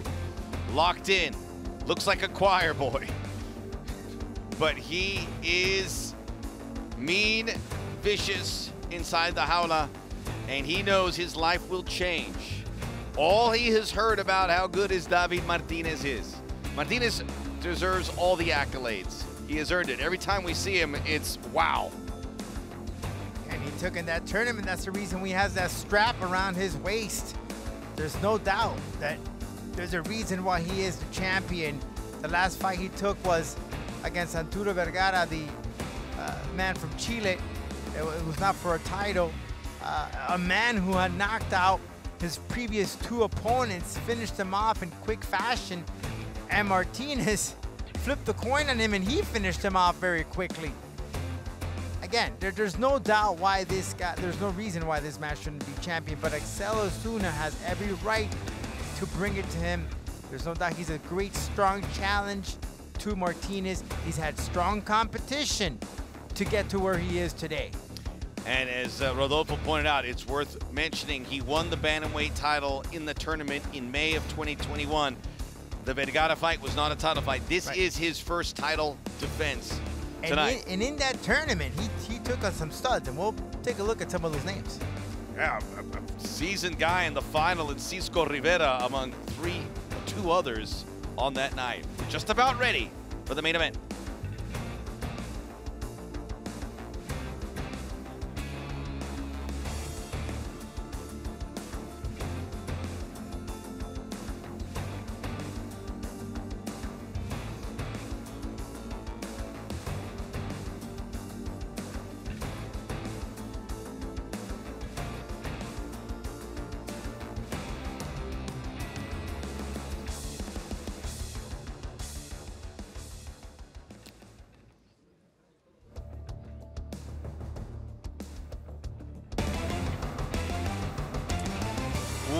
To Miami. Bienvenidos a Miami. It's a Friday night. It's an electric evening. There's a lot going on, but there's nothing as exciting as what's happening in our studios. Inside the Jaula in moments, the Combate Global Bantamweight World Title Clash. It's Mexico City versus Guadalajara. The Black Spartan versus Axel Osuna. Martinez in his first title defense, looking to prove that he is pound for pound the best prospect ever to come out of Mexico. But you saw the face of Axel Osuna absolutely locked in, knowing what is in front of him. A chance of a lifetime. He earned it. Will he take advantage of it? A closer look at the challenger. Yo peleo por ser la persona que le demuestra al mundo, al lugar donde salí, a mi gente, a mi familia, a mi equipo, que se puede. Yo venía buscando esta pelea desde que decidí subir a 135 libras porque soy una persona que busca retos. Nunca le he oído pelear con alguien complicado, con alguien un poco difícil y yo estaba seguro que esta pelea se iba a dar tarde o temprano. Y hoy en día puedo decir que va a ser una de las peleas más interesantes de mi carrera. La mayoría de las posiciones en las que los peleadores se sienten incómodos, para mí se han vuelto un lugar bastante confortable. O lo finalizo yo a él o me finaliza él a mí, pero realmente no creo que llegue a los cinco rounds.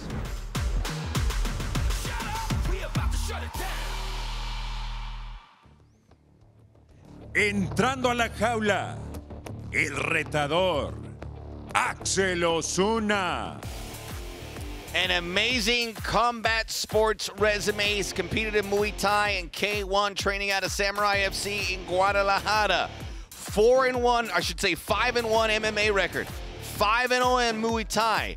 Hundred wins, three defeats in a decorated boxing career. It all comes to this. He beat two top 10 bantamweights to get this title fight. It's here. Now he's got to take advantage of it. He said in his interviews, I've had no easy route to get to where I've been.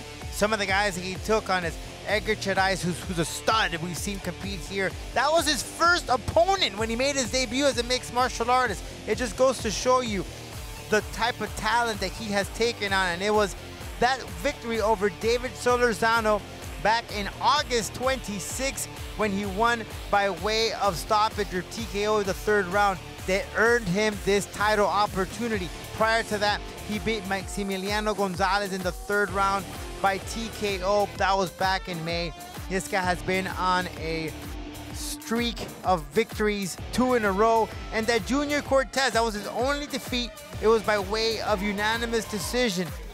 So, and and even though, even even that fight itself, right? You saw his evolvement, you saw his evolution as a fighter, as a well-rounded fighter.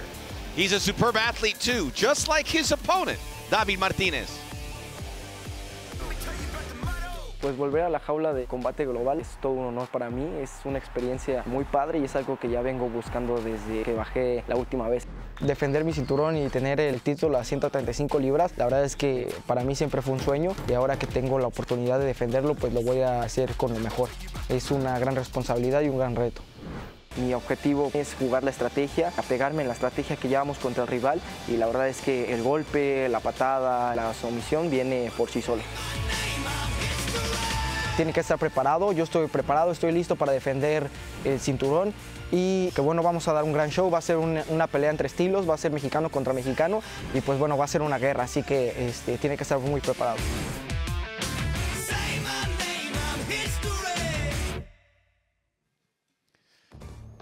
El campeón reinante, David Martínez. His entire career with Combate Global, which you can also say about Axel Osuna, but his career goes all the way back to April 2018. First round TKO victory.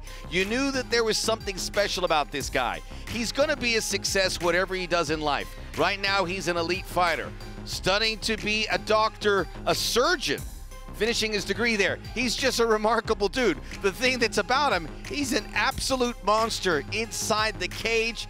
Not only the champion at the bantamweight, Rodolfo, but when he fights, he takes your breath away. That right hand, look forward to it. He's gonna he's gonna use it when he has that opportunity. He has laid out fighters without just one strike of that right hand. So Osuna can't get too close. He has to move around just a bit, bob and weave, use some of that wrestling. For Martinez, man, I mean, he's just fast-paced, quick on his feet, that kickboxing background. I mean, essentially, this man learned how to fight before he learned how to walk. I mean, that because fighting is in their blood, in their family history. He was born in fighting. He took on guys such as Francisco Rivera Jr., as you mentioned in that tournament, to get that victory, a seasoned veteran in the world of MMA. Prior to that, he defeated Alan Cantu Garcia and Alex Gonzalez. So it just goes to show you that this man had to defeat three men to get that title. He is the real deal, but now he has a tough challenge against another hungry fighter in Axel Osuna. Both guys made their weight clean. Remember, Axel Osuna started as a flyweight, so he found the comfort at 135 pounds, which could make him a very dangerous guy. He does have a height advantage. The reach advantage goes to Martinez. Both of them still in diapers, just getting started. And again, it's a five round fight. Title fight is here. The moment's arrived. Let's go to Lupe Contreras.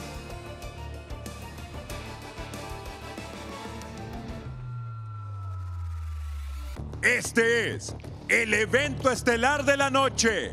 This is the main event. Cinco vueltas en juego. El campeonato peso gallo de combate global. This bout, five rounds on the line. The Combate Global Bantamweight Championship. Los jueces son, the judges are Ricardo Celis, Mark Streisand y Eliseo Rodríguez. Y ahora, damas y caballeros, llegó el momento de un combate global. En la esquina azul, el retador in the blue corner, the challenger, vestido de verde con blanco, wearing green with white, su peso oficial. 134 libras y un cuarto is official weight, 134 and one quarter pounds. En su séptimo combate, con cinco victorias y una derrota, in his seventh professional bout, with a record of five victories against one lone defeat. De pura sangre tapatilla. Guadalajara, Jalisco, México. El Charro, Axel Osuna.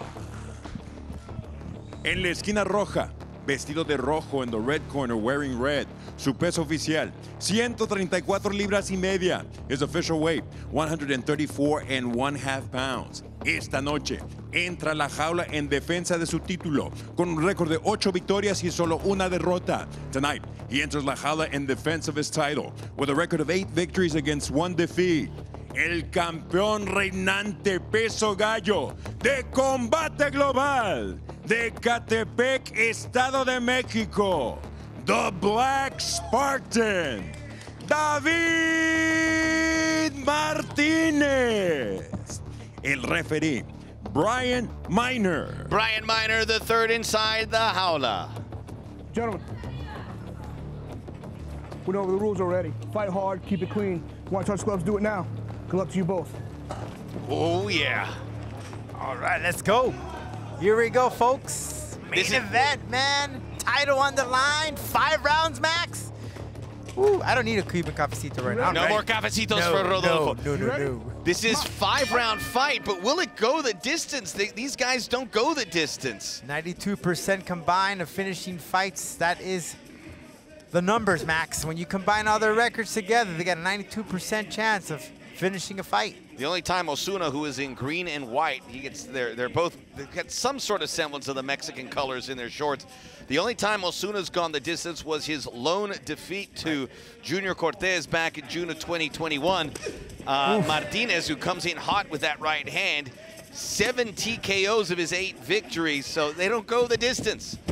It would be Oh. surprising to see if it went five rounds, but it could. Look at Osuna try to go for the takedown already. Immovable object, irresistible Oh. force. Another right hand by Martinez. It clipped so fast. It clipped him. This is a huge step up in class. Osuna's fought some good fighters, but no one in Martinez's class as he just wipes away that takedown attempt. The pace already, these guys. They're just quick on their feet. Oof, calf Smash to the lead leg. Martinez hits his, Osuna misses. Zé Martinez is fast, man. He's just really quick on his feet. So Osuna needs to pressure him. He needs to come into his his range to stop that movement. Because he'll love to set up those those hand combinations, land that right hand, but he'll set it up with those kicks. Stayed out of range of Osuna so far. Nothing has struck Martinez while Martinez has got his as he goes upstairs there. It was flushed there by Osuna, but still impact.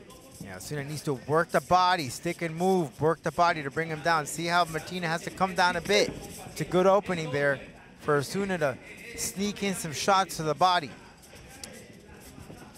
Incredibly, in the tournament, the uh, the bantamweight tournament, which there were one-round fights, Yeah. he finished Alejandro Gonzalez in the quarterfinals. And then in the final against Cisco Rivera, he finished it in the second round, which was a three-round fight. So he finishes tournament fights, finishes everything. Oh, more calf kicks from Martinez. And they're coming in with speed, power, another one. Two, three calf kicks already he's landed. He needs to check him. We always talk about national pride on the line. These are city bragging rights. Mexico City and Guadalajara always connected via sport, mainly through football. But now here in MMA, as you can see in the distance, David's sister, Oof, Meli. Martinez, who is also a fighter. Very, very good one. The Martinez family, as you touched on, uh, fighting out of the womb. That's what they do. it's a fighting family, and they've had a lot of success. Oh, another calf Oh, kick. That's like a lumberjack kick, just knocking down timber. Power coming from straight from those hips. As soon as eating them, he looks okay, but how much of that can you take? Now the thing that he has to, where Osuna needs to be careful is because if he gets too close, he might be met with that right hand. So he needs to be cautious as he moves in. But again, Martinez playing a really smart fight here, crunching down a bit, moving around, good on his feet, setting up for something. And, and you could see Max the, the mutual respect. Oh, that that's a shot to the quad area. It's, he's, he's worked that entire leg. Yep. From the ankle to and the look- quad. And that that left calf already is already red. Look at it. wow, that thing just was like a car crash, that foot coming up. Well, that's how you stop. That's how you stop a boxer, Max. Cut up his legs. Martinez changes stances. And another keeps one. working. Now it's really bothering Osuna. He might have to switch it if he feels comfortable with it. Well, he's still using it to kick. A little better, a minute to go, opening round. That one pushes back Osuna again. Good strategy so far from Martinez, stopping Osuna from allowing him to pressure him by attacking those legs. We saw Osuna for the first time October 2018. It was a fight card that was held in Guadalajara.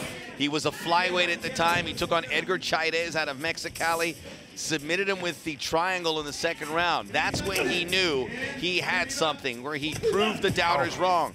He's here, but this is a different kettle of fish. Martinez is a handful, and he has done very well in this opening round. And then we talk about it if they get to those championship rounds. Both these guys got good cardio, so they could they can go the full 25.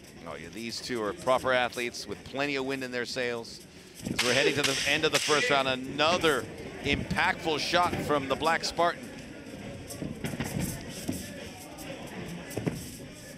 And we're off and running. Nice.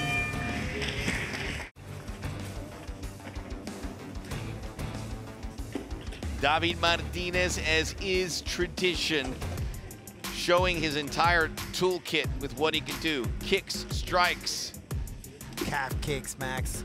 That was it. This is the story this first round. He collected about a good, a good five kicks, five, six kicks he connected, bruising up that left calf of Axel Osuna, not allowing him to put any pressure on Martinez. So far, the strategy that the Black Spartan is using is working to his advantage.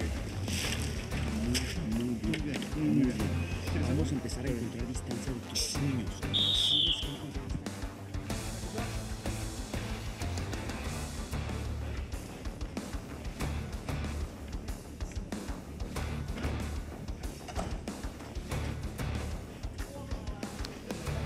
We are back, round number two, and we talked about in our pre-fight show how if it, you're, you're talking about all-round fighting, Osuna's got the better all-round game. Martinez is a pure striker. Uh, we didn't see anything in an attempt with takedowns, any Once. sort of grappling. One But little was- yeah. glimmer, but Osuna's got to get that on track. You've got to find a way to slow down this irresistible force that is David Martinez. Well, one thing I notice is comparing both of the fighters, just looking at their body, that left leg or left calf of Osuna has some a little bit of red already bruised up. But look at Martinez's body. He's Osuna connected some body shots. There's some bruising. Look at that yeah, you're right. on the- that on that uh, abdomen area. Right underneath the rib cage. So he is connecting. He is doing some sort of damage to Martinez, but he has to be more consistent to break down Martinez because he's so fast with those leg kicks. And he sets them up so he can follow up with those punches. Martinez talking about his camp. Uh, he worked hard. Same strategy. We want to bring it to a war. That is what we want. He knows people tune in to see David Martinez. They want to Oh, show. man, Question mark the- kick. Osuna ate it. Now a takedown so to situation. it off. So Martinez quick. smiling. He's got a Gillian Noll smile going on right now. Wow. Great way to bounce back from Martinez from that. Osuna's been eating some really well. No surprise there. Martinez wins the first round. Official scorecard. Remember, five rounds scheduled. Osuna needs to cut those corners to not allow Martinez to move around so fast. Oh, okay, he connected with that, that hand, Osuna. Martinez has showed Osuna a lot, Rodolfo, but Osuna has taken it. Uh, you can't take it all day, but at some point, Martinez may be a little frustrated with the lack of impact he's seeing from his power strikes. I I mean, physically, you, you see that Martinez just have that power over Osuna. Blocked, but still some impact. You can Just hear it. Look what Martinez does. That's deep. He throws Osuna off like a couple of inches or so. I mean, it sets him back. Uppercut right under the chin of Osuna. And those teeps, Max, they're usually used to set up combinations. And, and if you know how to use them very well, it'll knock your ear out. And that's when you follow through and lay them out. See, now now he's following it up right here. Some body shots himself. Oh, Martinez. Oh, that's Osuna a little blocked it. textbook kickboxing right there. Osuna's done well in a defensive posture, but he has to be more of the aggressor. Martinez coming in from every angle. Oh. Left, right, changes sides, up route one. Those big power kicks right up the gut, into the gut of Osuna. And Osuna just can't find a gap so he can wrestle. He can't. Because Martinez is so fast. And look, Max, Osuna switched the legs. He's working both legs now. Yep. Oh, oh another again, one. right on the ankle. Oh. My goodness. Oh! He's picking him apart. Upstairs, downstairs, there is nothing that, that Oh. Harry can't find. Osuna comes in and he pays a price. Here in the exchange. Yeah, Osuna needs to work that body when he gets that opportunity, but it needs to come in at close range. Martinez is always first with the striking. Look at that gap between them. Martin, that's where Martinez thrives on. Because he'll go in with those kicks. It's incredible, Rodolfo, how good Osuna looked in those last two fights, but how he looks second best to the Black Spartan. The The different reason- step in class. The reason why he has that gold, Max. Let's take a look at those stats. Decent output from Osuna. It's just Right. remarkable output from Martinez. And it, the kicks is what makes the difference here. Oh! I felt that one. Not for the meek. Mixed martial arts, not at this level. Two absolute dynamos. Osuna goes to the body. More of that body work. Oh, he got clipped with that right hand. Just didn't come up with enough power because it was at close range. Aye. He got that left leg out of there. That one was uncomfortable. Less than 30 seconds to go, round two. It's been all David Martinez. Upstairs again. Good way of Osuna. That's that boxing. Keeping them hands up. Well, you can see a welt there on that left brow Yep. from Osuna. From that right hand. He's got five rounds, so it's a little forgiving here for Osuna, but at some point, the tide needs to turn. It hasn't happened yet. Martinez oh. clips him again right at the end of round two.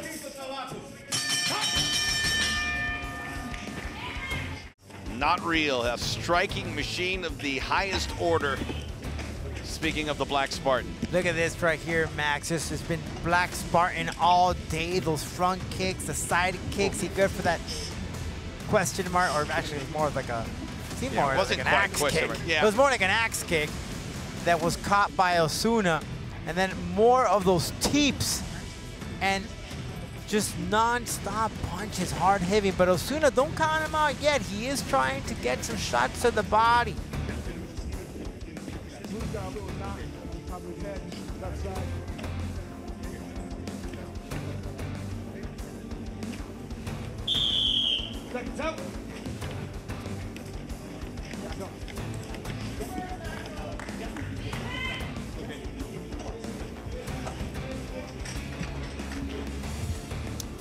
We are back here, round three.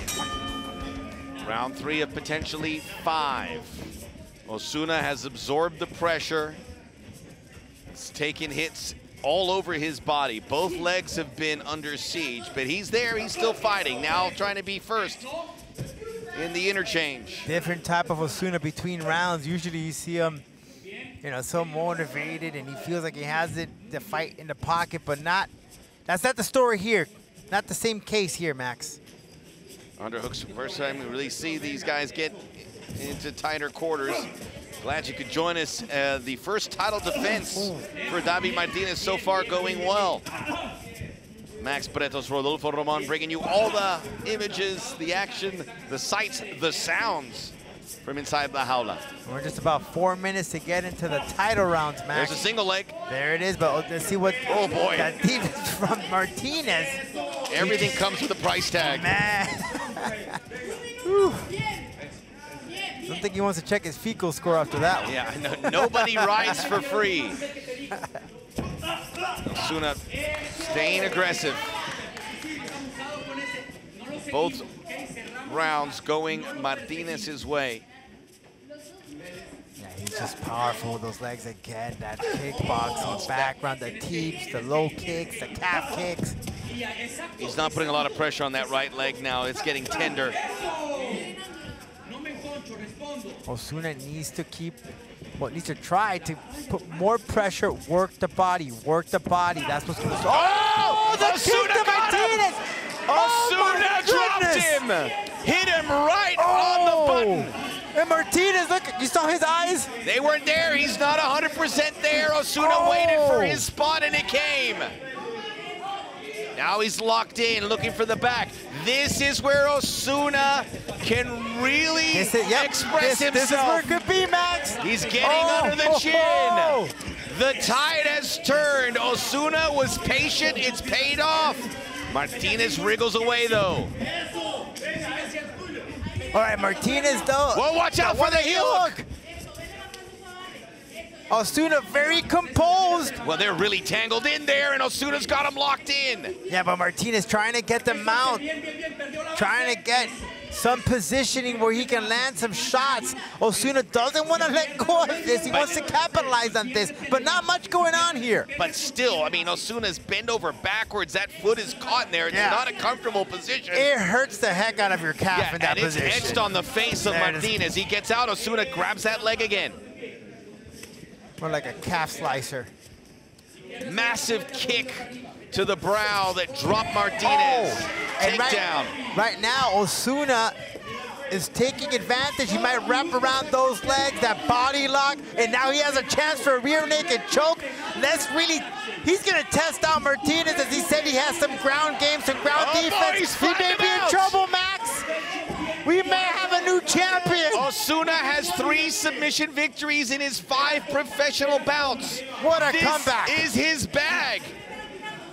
Wow. Remember, five rounds. Martinez has to survive, and he'll get another chance to get into a stand-up position. Another rear naked choke attempt. The energy level is not the same anymore here for Martinez when it gets to the floor. It was that kick.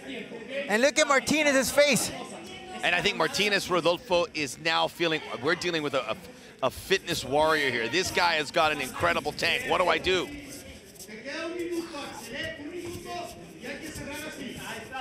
Incredible stuff here from Martinez as he looked up. Seems like he looked at the, the clock to see how much time he has so he can compose himself and gain some energy. Osuna having the advantage in this round, Another taking drop. him down. Uh, a better sneak. That one, he's got that left arm underneath there. He's got a better, well, it's off the, it's off the neck. Yeah, it'd be best for Osuna to finish off this fight right now, not go to the championship round, because we don't know if Martinez might be able to get that same energy back in that fourth round. But it, Marti- And fifth. we're learning things about Martinez. How Right. is his submission defending? It's good. It's not great. He's better when you're facing his opponent. And in a striking battle, he has kept Osuna at bay by and large. But when Osuna finally made contact, he was able to take it to the ground. Well, Osuna now, he, now Martinez had the takedown, scooping him up, and then another Oh, takedown from Osuna. And now he's following through. Oh, Oh, it's on, baby! championship rounds. Yes, sir. It's on! Are you not entertained? the script has a rewrite. Axel Osuna is back and back with a vengeance. Ooh-wee. Fourth round. Here we go. Let's take a look at this action. Osuna attempting the takedown. Martinez says, no, not today. But in just a few, you're going to see what made the change in this fight was that kick right to the chin and the button, bringing down Martinez. Attempted here some action, but Osuna just wrapped around, had the majority of the control in that third round, and we are now in the championship rounds, the fourth for both of these men. For the strap, and Martinez knows that this is a different fight for him. Osuna got his breakthrough. We believe he's won that third round. We'll find out shortly.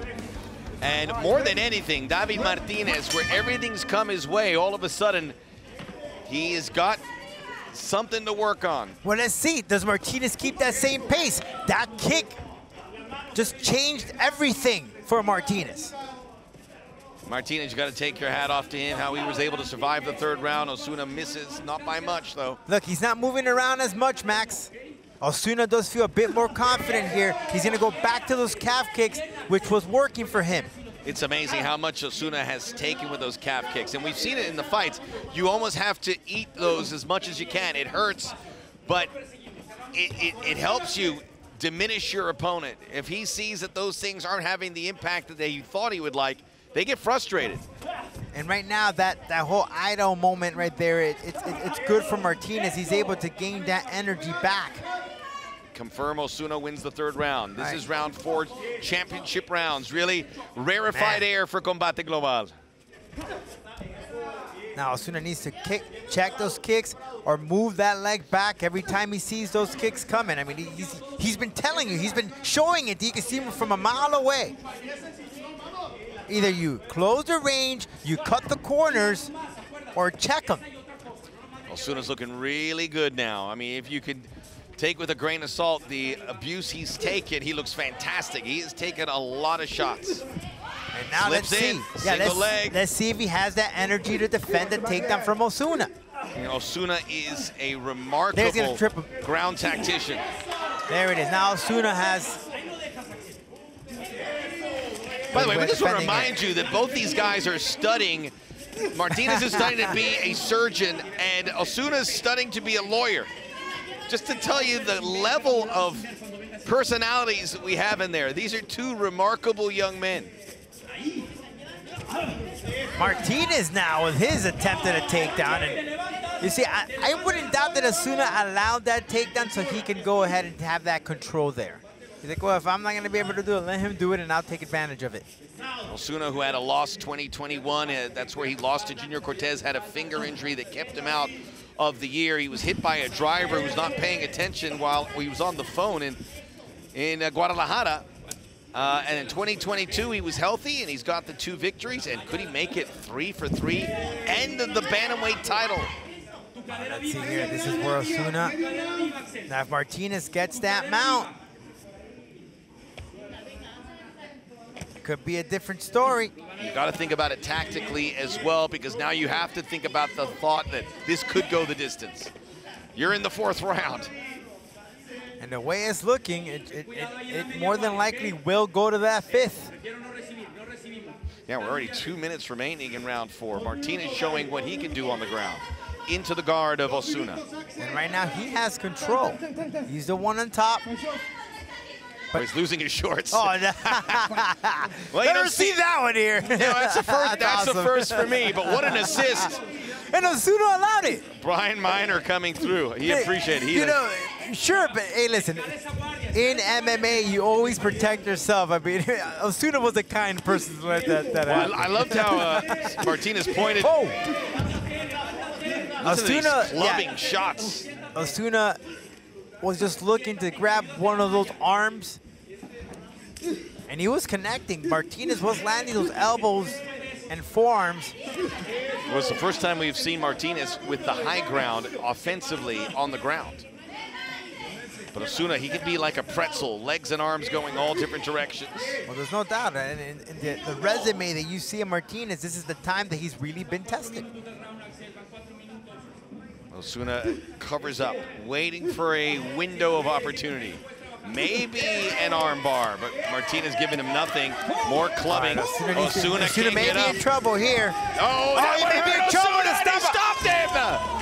David Martinez ah. retains the title. He was challenged in round three, only to come out in round four, hell bent for leather. El Campeón, the Black Spartan. I'm the champion, he said. Wow. Good stuff. So much energy for Axel Osuna to get back in this fight. He did. He had Martinez on the ropes. Martinez, though, came in and the class shone through. He caught him.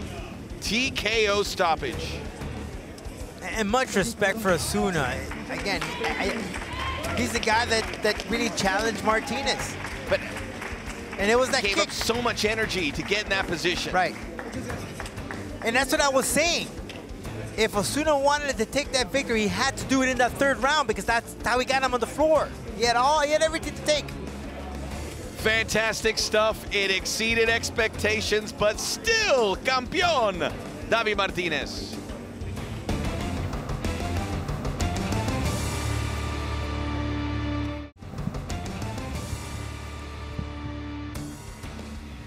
We are back. David Martinez will retain his bantamweight title. He finally wore out Axel Osuna to the official decision and Lupe Contreras.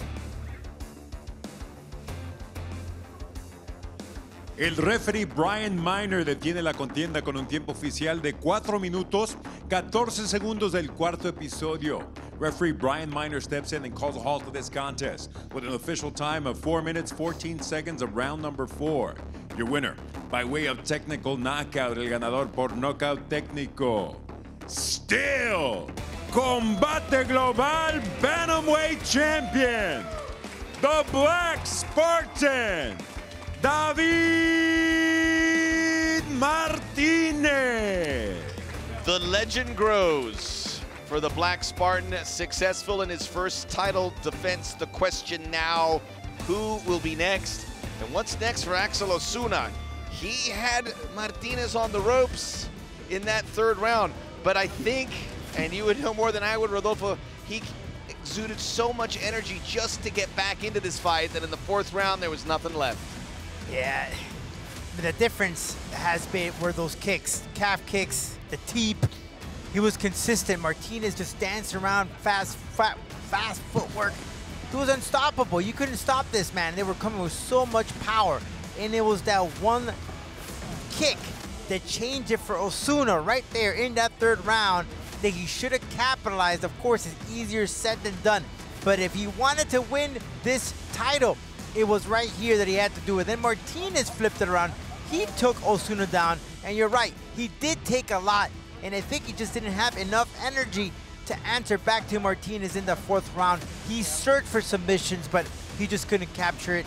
And again, the champion, David Martinez, retains his title.